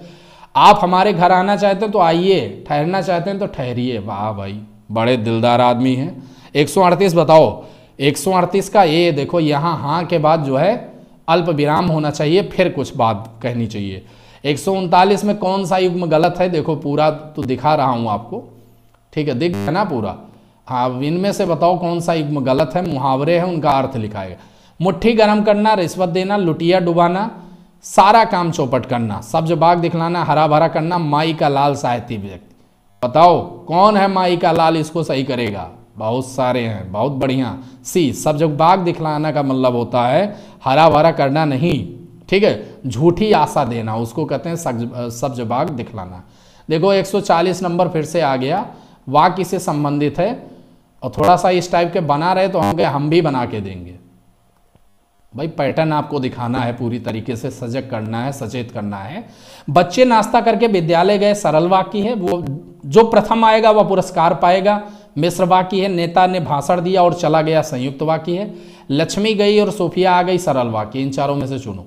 तो यही है भैया, यहाँ और शब्द लगा है, यह संयुक्त वाक्य है, सरल वाक्य नहीं है। 140 के बाद 141 नंबर स्क्रीन पर बादल घिर आए हैं और बारिश होने लगी। रचना की दृष्टि से वाक्य क्या? सरल, आज्ञावाचक, निषेधवाचक, संयुक्त। इन चारों में से और शब्द मिल गया। समुच्चय बोधक जहाँ शब्द मिल गए तो वो संयुक्त वाक्य का उदाहरण होता है। 141 के बाद 42 नंबर है। आज आकाश में छाए हैं क्या? रिक्त स्थान की पूर्ति करें। जलज जलद जलद नीरद कंफ्यूज हो गए ना? देखिए, प्रश्न बहुत अच्छे हैं। जलज है कि जलद है कि जलद है कि नीरज है इन चारों में से बताओ। अब बादल की प्रवासी जानते होगे तो बताओगे। ठीक है, इन चारों में से बताओ, जलद। ठीक है, जलद लगा दिए तो समुद्र की हो जाएगा, बस। ले गए नंबर वहीं। शुद्ध वाक्य चुनिए, वाह, कितना सुंदर दृश्य है। वाह, कितना सुंदर दृश्य है। वाह, सुंदर दृश्य है कितना। वाह। कितना सुंदर दृश्य। चारों में से बताओ 143 देखो 143 बीच चुने हो तो नंबर ले जाओ एकदम दिल खोल के यार। ठीक है? 144 नंबर। इनमें से कौन विशेषण है? गुण आ, कोई एक शब्द है इनमें से कौन सा विशेषण होगा वो? गुणवाचक होगा कोई एक शब्द है भैया। ठीक है? सार्वनामिक होगा परिणामवाचक होगा इनमें से कोई नहीं होगा तो बताओ चौवालीस एक सौ चौवालीस का जवाब। बी चुन हो तो एकदम खट से ले जाओ क्योंकि कोई सर्वनाम है। यहाँ विशेषण की बात कर रहा तो सार्वनामिक विशेषण। अगला है, देखो, पक्ष से सवाल मैंने पूछ लिया वैकांडिक कोड। भीड़ बढ़ती जा रही है। इसमें कौन सा पक्ष है? आरंभ द्योतक, सातत्य बोधक, प्रगति द्योतक, पूर्णतया द्योतक, इन चारों में से बताओ 145 145 अगर भैया सी चुन लियो तो एकदम नंबर ले जाओ। जहाँ पर क्रिया लगातार बढ़ रही हो, वहाँ समझ जाना क्या है? वहाँ पर जो है पक्ष प्रगत द्योतक का होता है। 146 नंबर प्रश्न है सूर्य पूर्व में निकलता है पक्ष पहचानिए। नित्यता बोधक सातप्पी बोधक प्रगत द्योतक पूर्णता द्योतक जो है द्योतक। इन चारों में से कौन सा पक्ष है? बताओ। 146 देखो भैया। 146 का जवाब कौन सा चुने हो? ए चुन लिए हो नित्यता बोधक तो एकदम सही है। जहाँ पर जो चीज़ हमेशा हो रही है, वो नित्यता बोधक पक्ष होता है। अगर डॉक्टर आ जाता तो श्याम बच जाता। वाक्य में वृत्ति बताओ। वृत्ति और पक्ष दोनों से सवाल है। संभावनार्थ है संदेहार्थ है, संकेतार्थ है, विद्यार्थ है। इन चारों में से बताओ। एक नंबर में, और जहाँ पर जो है कंडीशन वाले वाक्य मिले, शर्त वाले वाक्य मिले, ये हो जाता तो ये हो जाता तो वहाँ संकेतार्थ वृत्ति होती है, ये दिमाग में बना लेना। 148 नंबर वह गाँव से चल पड़ा होगा, ठीक है, मैं वृत्ति क्या है, संभावनार्थ है, संदेहार्थ है, संकेतार्थ है, विद्यार्थ है, इन चारों में से बताना है। तो 148 का जवाब अगर भैया देखो, गाँव से चल पड़ा होगा, पता तो है नहीं, चला होगा कि नहीं तो ये संदेहार्थ वृत्ति का उदाहरण हो जाएगा। एक सौ अड़तालीस एक सौ उनचास फिर से अंग्रेज़ी शब्द से हिंदी पूछ लिया। अकाउंटेंट जनरल के लिए शब्द बता दो। महालेखापाल, महानिदेशक लेखा विधिकार महालेखाकार, इन चारों में से बताओ। एक सौ उनचास का जवाब आपको देना है और एक सौ उनचास का जवाब डी दे ले रहे हो तो नंबर ले जाओ खुल के। एकदम अच्छे से। 150 फिर मैंने वही किया है। ठीक है? दिख रहा है ना? चलो, एक वाक्य दिया है। मैंने वाक्य में जो है, अगर त्रुटि है तो वो चुन लो, और नहीं है तो डी चुन लो। विद्यालय में जलपान को उत्तम प्रबंध है। इसमें किसमें गलती है? बताओ भैया 150 नंबर। देखो, जलपान की होना चाहिए, जलपान का होना चाहिए। जलपान को नहीं यार। समझ गए ना? संदिग्ध वर्तमान काल का उदाहरण। बहुत अच्छे प्रश्न मिलने वाले हैं। चाची बाज़ार गई हैं, नेताजी भाषण दे रहे होंगे, सचिन बल्लेबाजी कर रहा था। भैया आ जाते हूँ। इन चारों में से बताओ एक सौ इक्यावन नंबर। एक सौ इक्यावन नंबर कौन सा इसमें सही होगा भैया? बताओ। अरे यार, बताओ तो है ही ऐसे थोड़ी काम बनेगा मतलब। देखो, एकदम पूरी तरीके से ईमानदारी से लगे रहो भैया। हम लगे हैं पूरी तरीके से आपके साथ। नेताजी भाषण दे रहे होंगे, ये संदिग्ध वर्तमान काल का उदाहरण। अच्छा और बता दो जो वाक्य लिखे। चाची बाज़ार गई हैं, कौन सा है भैया? बताओ। ये आसन्न जो है, भूतकाल है। ठीक है? आसन्न जो है जो है भूतकाल के अंतर्गत आएगा। सचिन बल्लेबाजी कर रहा था। अब ये अपूर्ण है ना, भूतकाल है लेकिन अपूर्ण है तो अपूर्ण भूतकाल। सही शायद भैया आ जाते हूँ। ये क्या है? ये संभाव्य वर्तमान है। ठीक है? अगला है एक सौ बावन नंबर महाप्राण महाप्राण व्यंजन क्या होता है? प्रत्येक वर्ग का कौन सा? बताओ। दूसरा, चौथा चुन लिए ना। देखो, समझदार हैं आप लोग। एक सौ बावन का उत्तर बी हो जाएगा। ठीक है? दूसरा, चौथा महाप्राण होता है। बाकी अल्प्राण होते हैं। अगला देखो कौन से वाक्य में अच्छा पद संज्ञा है। वह अच्छों के साथ रहता है। वाह। वह होना चाहिए। वह अच्छा बच्चा है। वह अच्छा लिखता है। अच्छा कल जाना। इन चारों में से बताओ कहाँ अच्छा पद जो है संज्ञा है। वह अच्छों के साथ रहता। अच्छों यहाँ पर क्या है? संज्ञा है। नाम हो गया। अच्छों। मतलब अच्छे लोगों। एक सौ चौवन नंबर है। ओह या पिट ही गया। कौन सा वाक्य भैया? ये संकेत। आपका संकेत वाचक वाक्य है विस्मय वाचक है, विधिवाचक है, इच्छावाचक। अब तुम्हारी इच्छा तो रही नहीं कि ये पिट जाता। ठीक है, ये भैया क्या है? विस्मय वाचक है। अगला है जो है, कह रहा है, उस विकल्प का चयन करो जो सर्वनाम के भेद को बताता हो। और प्रश्न ये है कि जिसको हमने बुलाया था, वह आया है। निश्चयवाचक, संबंधवाचक, उत्तम पुरुष, निजवाचक। इन चारों में से बताओ, सर्वनाम का कौन सा ही इसमें भेद लिखा है तुमको? वो दिख रहा है ना 155 में?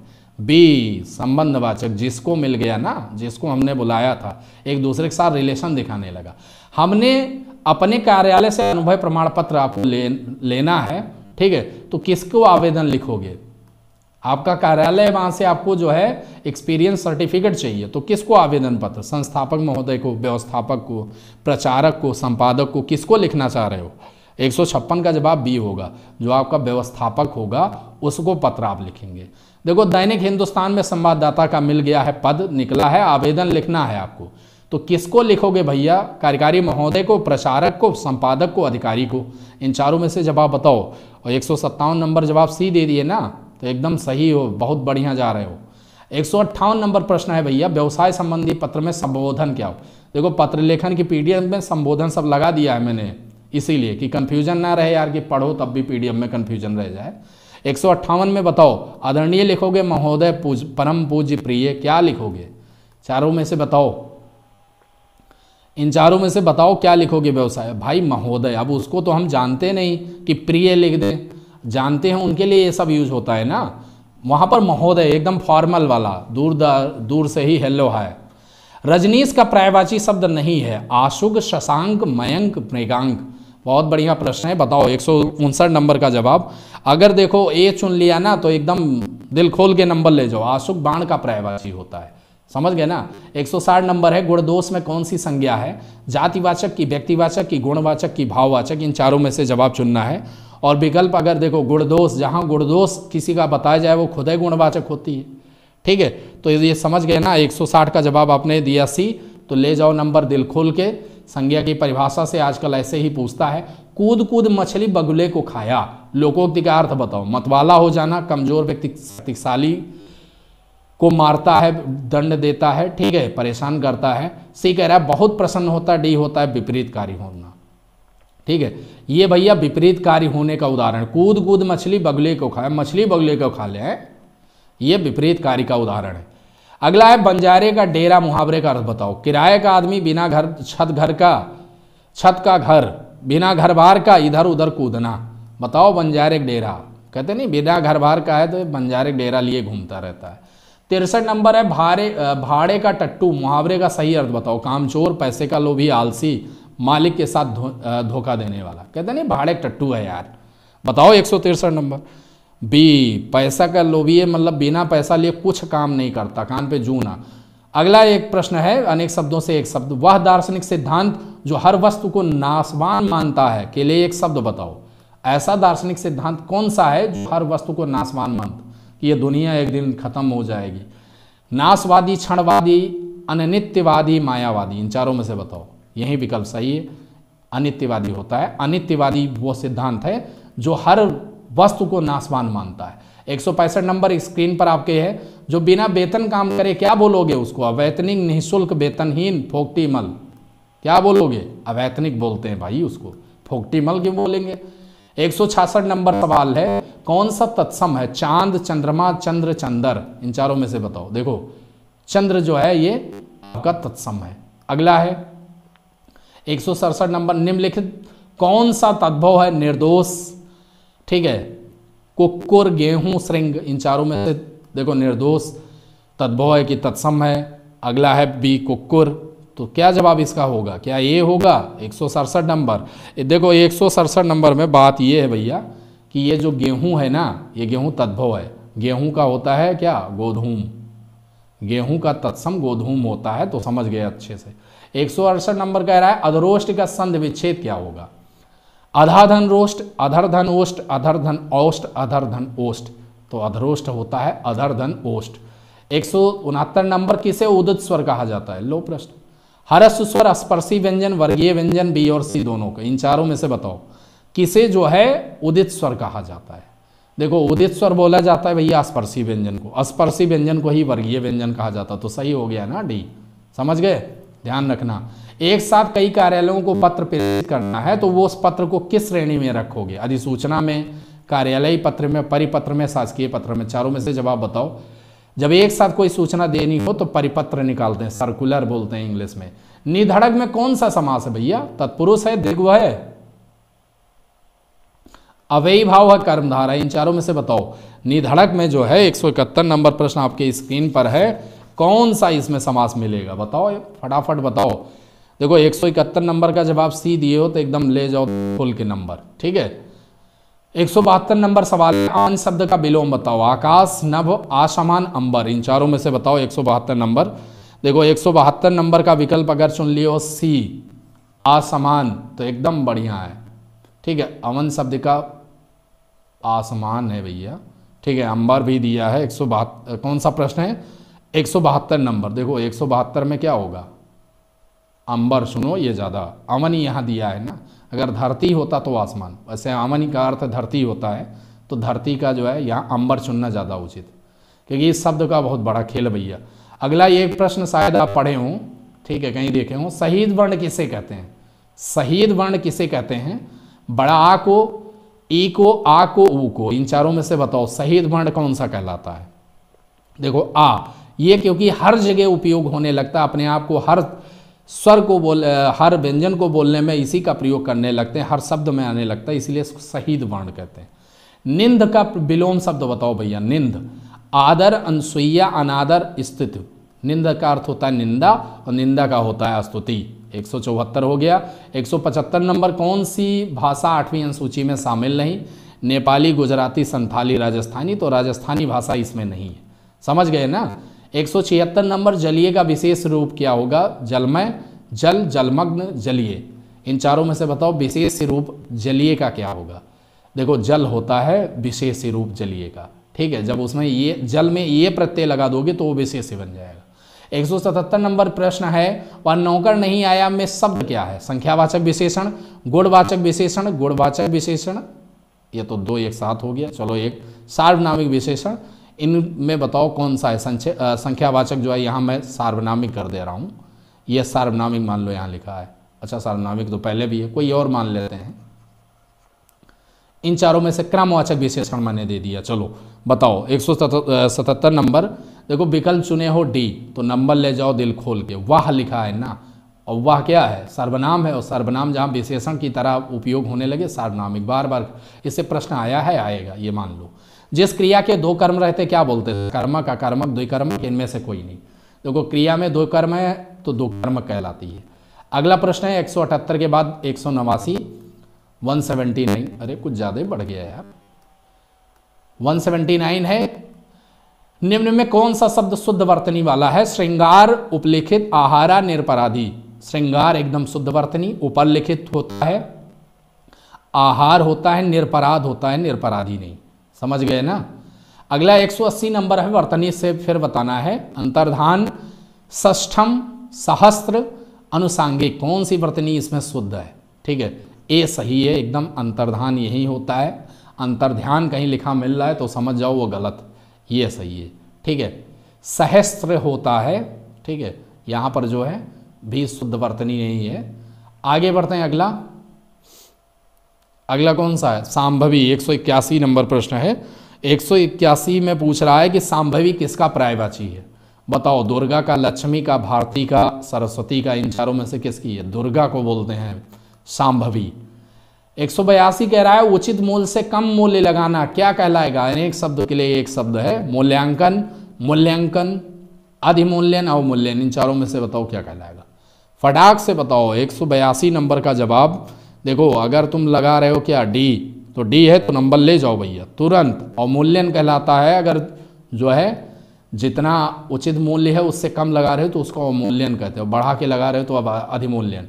टीस का समानार्थक क्या होता है? नमक, मोर, कसक फसाद, इन चारों में से बताओ। टीस का समानार्थक होता है कसक। ठीक है, कहते नहीं, उसके मन में टीस है, कसक है। एक सौ चौरासी सारंग शब्द का समानार्थक शब्द क्या है? मोर, सारथी, जोड़ा हरा, इन चार में से बताओ। सारंग का अर्थ क्या होता है? एक सौ चौरासी नंबर प्रश्न है। देखो, ए चुन लिए तो एकदम मान लो सही हो। एक सौ चौरासी नंबर का ए होगा मोर। एक सौ पचासी, मुझे विश्वास है, आप अवश्य आएँगे। किस प्रकार का वाक्य? है देखो, मिश्र वाक्य है, संयुक्त वाक्य है, सरल वाक्य है, इनमें से कोई नहीं है, कौन सा है? बताओ, एक सौ पचासी नंबर। एक सौ पचासी विकल्प भैया, ए चुन लिया एकदम दिल खोल के ले जाओ। मुझे मुझे विश्वास है। एक वाक्य, उपवाक्य दूसरे पर आश्रित हो गया, समझ जाओ मिश्र आँख बंद करके। आश्रित उपवाक्य ढूंढना बस। एक सौ छियासी नंबर है, अनुचर का अपर्यायवाची शब्द, भृत्य, सेवक, चाकर, निर्झर। इन चारों में से क्या है? देखो, निर्झर झरना का होता है तो ये नहीं है, बाकी सब है। एक सौ सतासी नंबर, होंठ का पर्यायवाची शब्द नहीं है। ओष्ट पदपट, अष्ट और अधर। इन चारों में से बताओ। देखो, अष्ट का अर्थ होता है आठ तो ये नहीं है, बाकी सब है। अगला है एक सौ अट्ठासी नंबर। जब दो या दो से अधिक मिलकर एक नवीन शब्द की रचना करते हैं तो उसे क्या कहते हैं? पद मिल गया या शब्द मिल गया तो वो समास कहलाता है, ठीक है? ए आपका विकल्प एकदम सही हो गया है। अगला है एक सौ नवासी। विद्यार्थी में कौन सा समास है? कर्मधार तत्पुरुष, अव्ययी भाव द्वंद्व विद्यार्थी, ठीक है? विद्यार्थी में बताओ भैया कौन सा है? तत्पुरुष है भैया, एक सौ नवासी बता दो यार। फटाक से बताओ यार। एक सौ नवासी का जवाब आपको देना है भैया।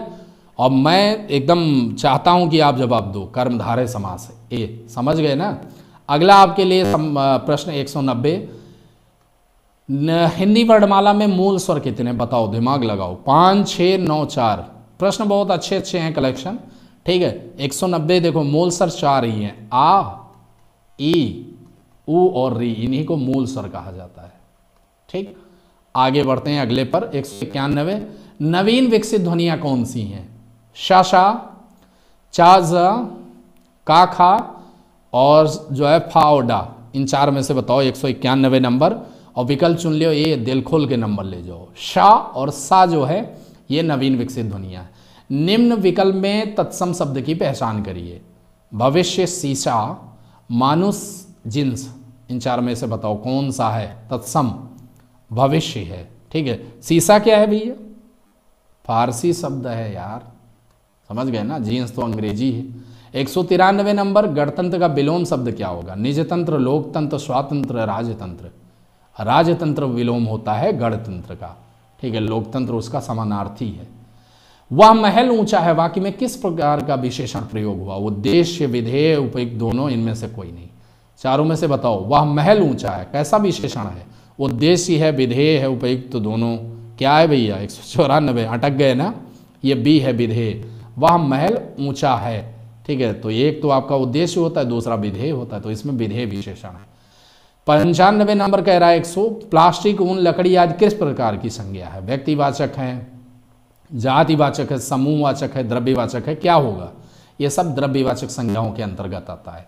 एक सौ छियानबे कह रहा है, मुंबई को भारत का हॉलीवुड कहा जाता है। हॉलीवुड किस प्रकार की संज्ञा है? व्यक्तिवाचक, जातिवाचक, भाववाचक, द्रव्यवाचक, इन चारों में से बताओ। हॉलीवुड जो होगी, एक ऐसी संज्ञा यहाँ पर होगी। देखो, ये हो जाएगी जातिवाचक संज्ञा। व्यक्तिवाचक नहीं कि नाम है तो। यहाँ कंपेरिजन है।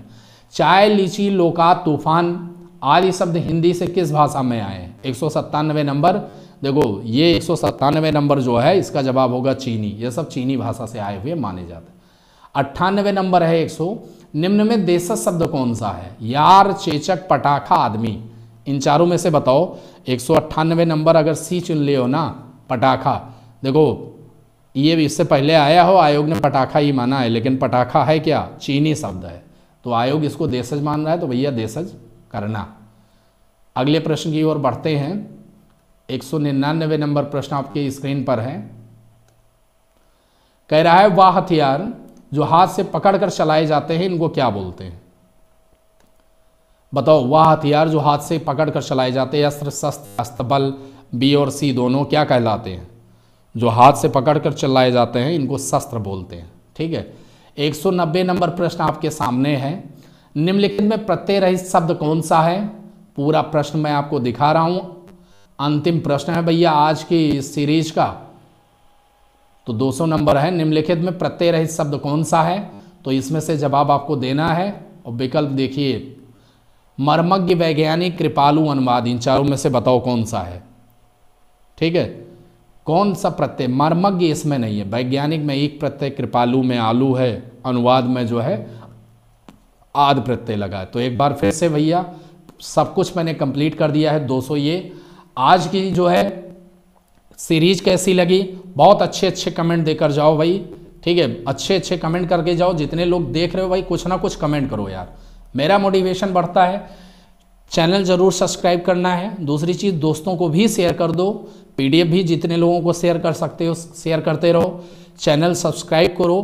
कोई भी समस्या होती है, आप इन तीनों नंबर में से किसी पर कांटेक्ट कर सकते हो। एक छोटी सी इन्फॉर्मेशन और मैं देना चाह रहा हूँ कि हमारी जो टीम है, टीम के द्वारा जो नए लोग हैं, फिर से उनसे बता रहा हूँ फेसबुक चैनल से जुड़ जाओ टीजी से जुड़ जाओ, और ये चैनल तो हाई है, इसके, इससे आपको सब्सक्राइब करना है ज़रूर एक बार, और वेबसाइट्स को ज़रूर एक बार।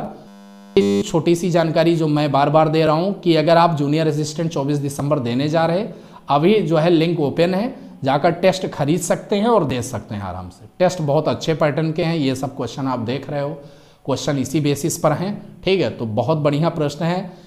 टेस्ट सीरीज़ रीजनिंग की भी आपको हम एक पीडीएफ दे देंगे, जो है यूपी ट्रिपल एस के लेटेस्ट बेस पर 2019 के पैटर्न पर, ताकि अच्छी प्रैक्टिस हो सके। बाकी सब कुछ है। A S C are they रहे हो तो उसके लिए भी चल रही है एकदम अच्छे लेवल की। दूसरी चीज़ दोस्तों, टीम की मेहनत कैसी लग रही? मेरी मेहनत कैसी लग रही? इसके बारे में कुछ लिख के जाओ यार।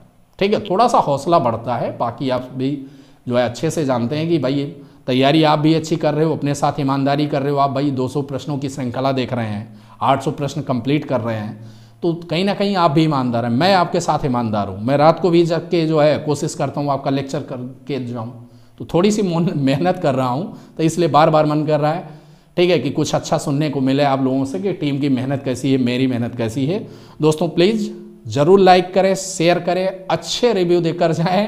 ठीक है, बाकी फिर मिलते हैं अगले लेक्चर में। तब तक के लिए सभी का बहुत बहुत धन्यवाद बहुत बहुत आभार।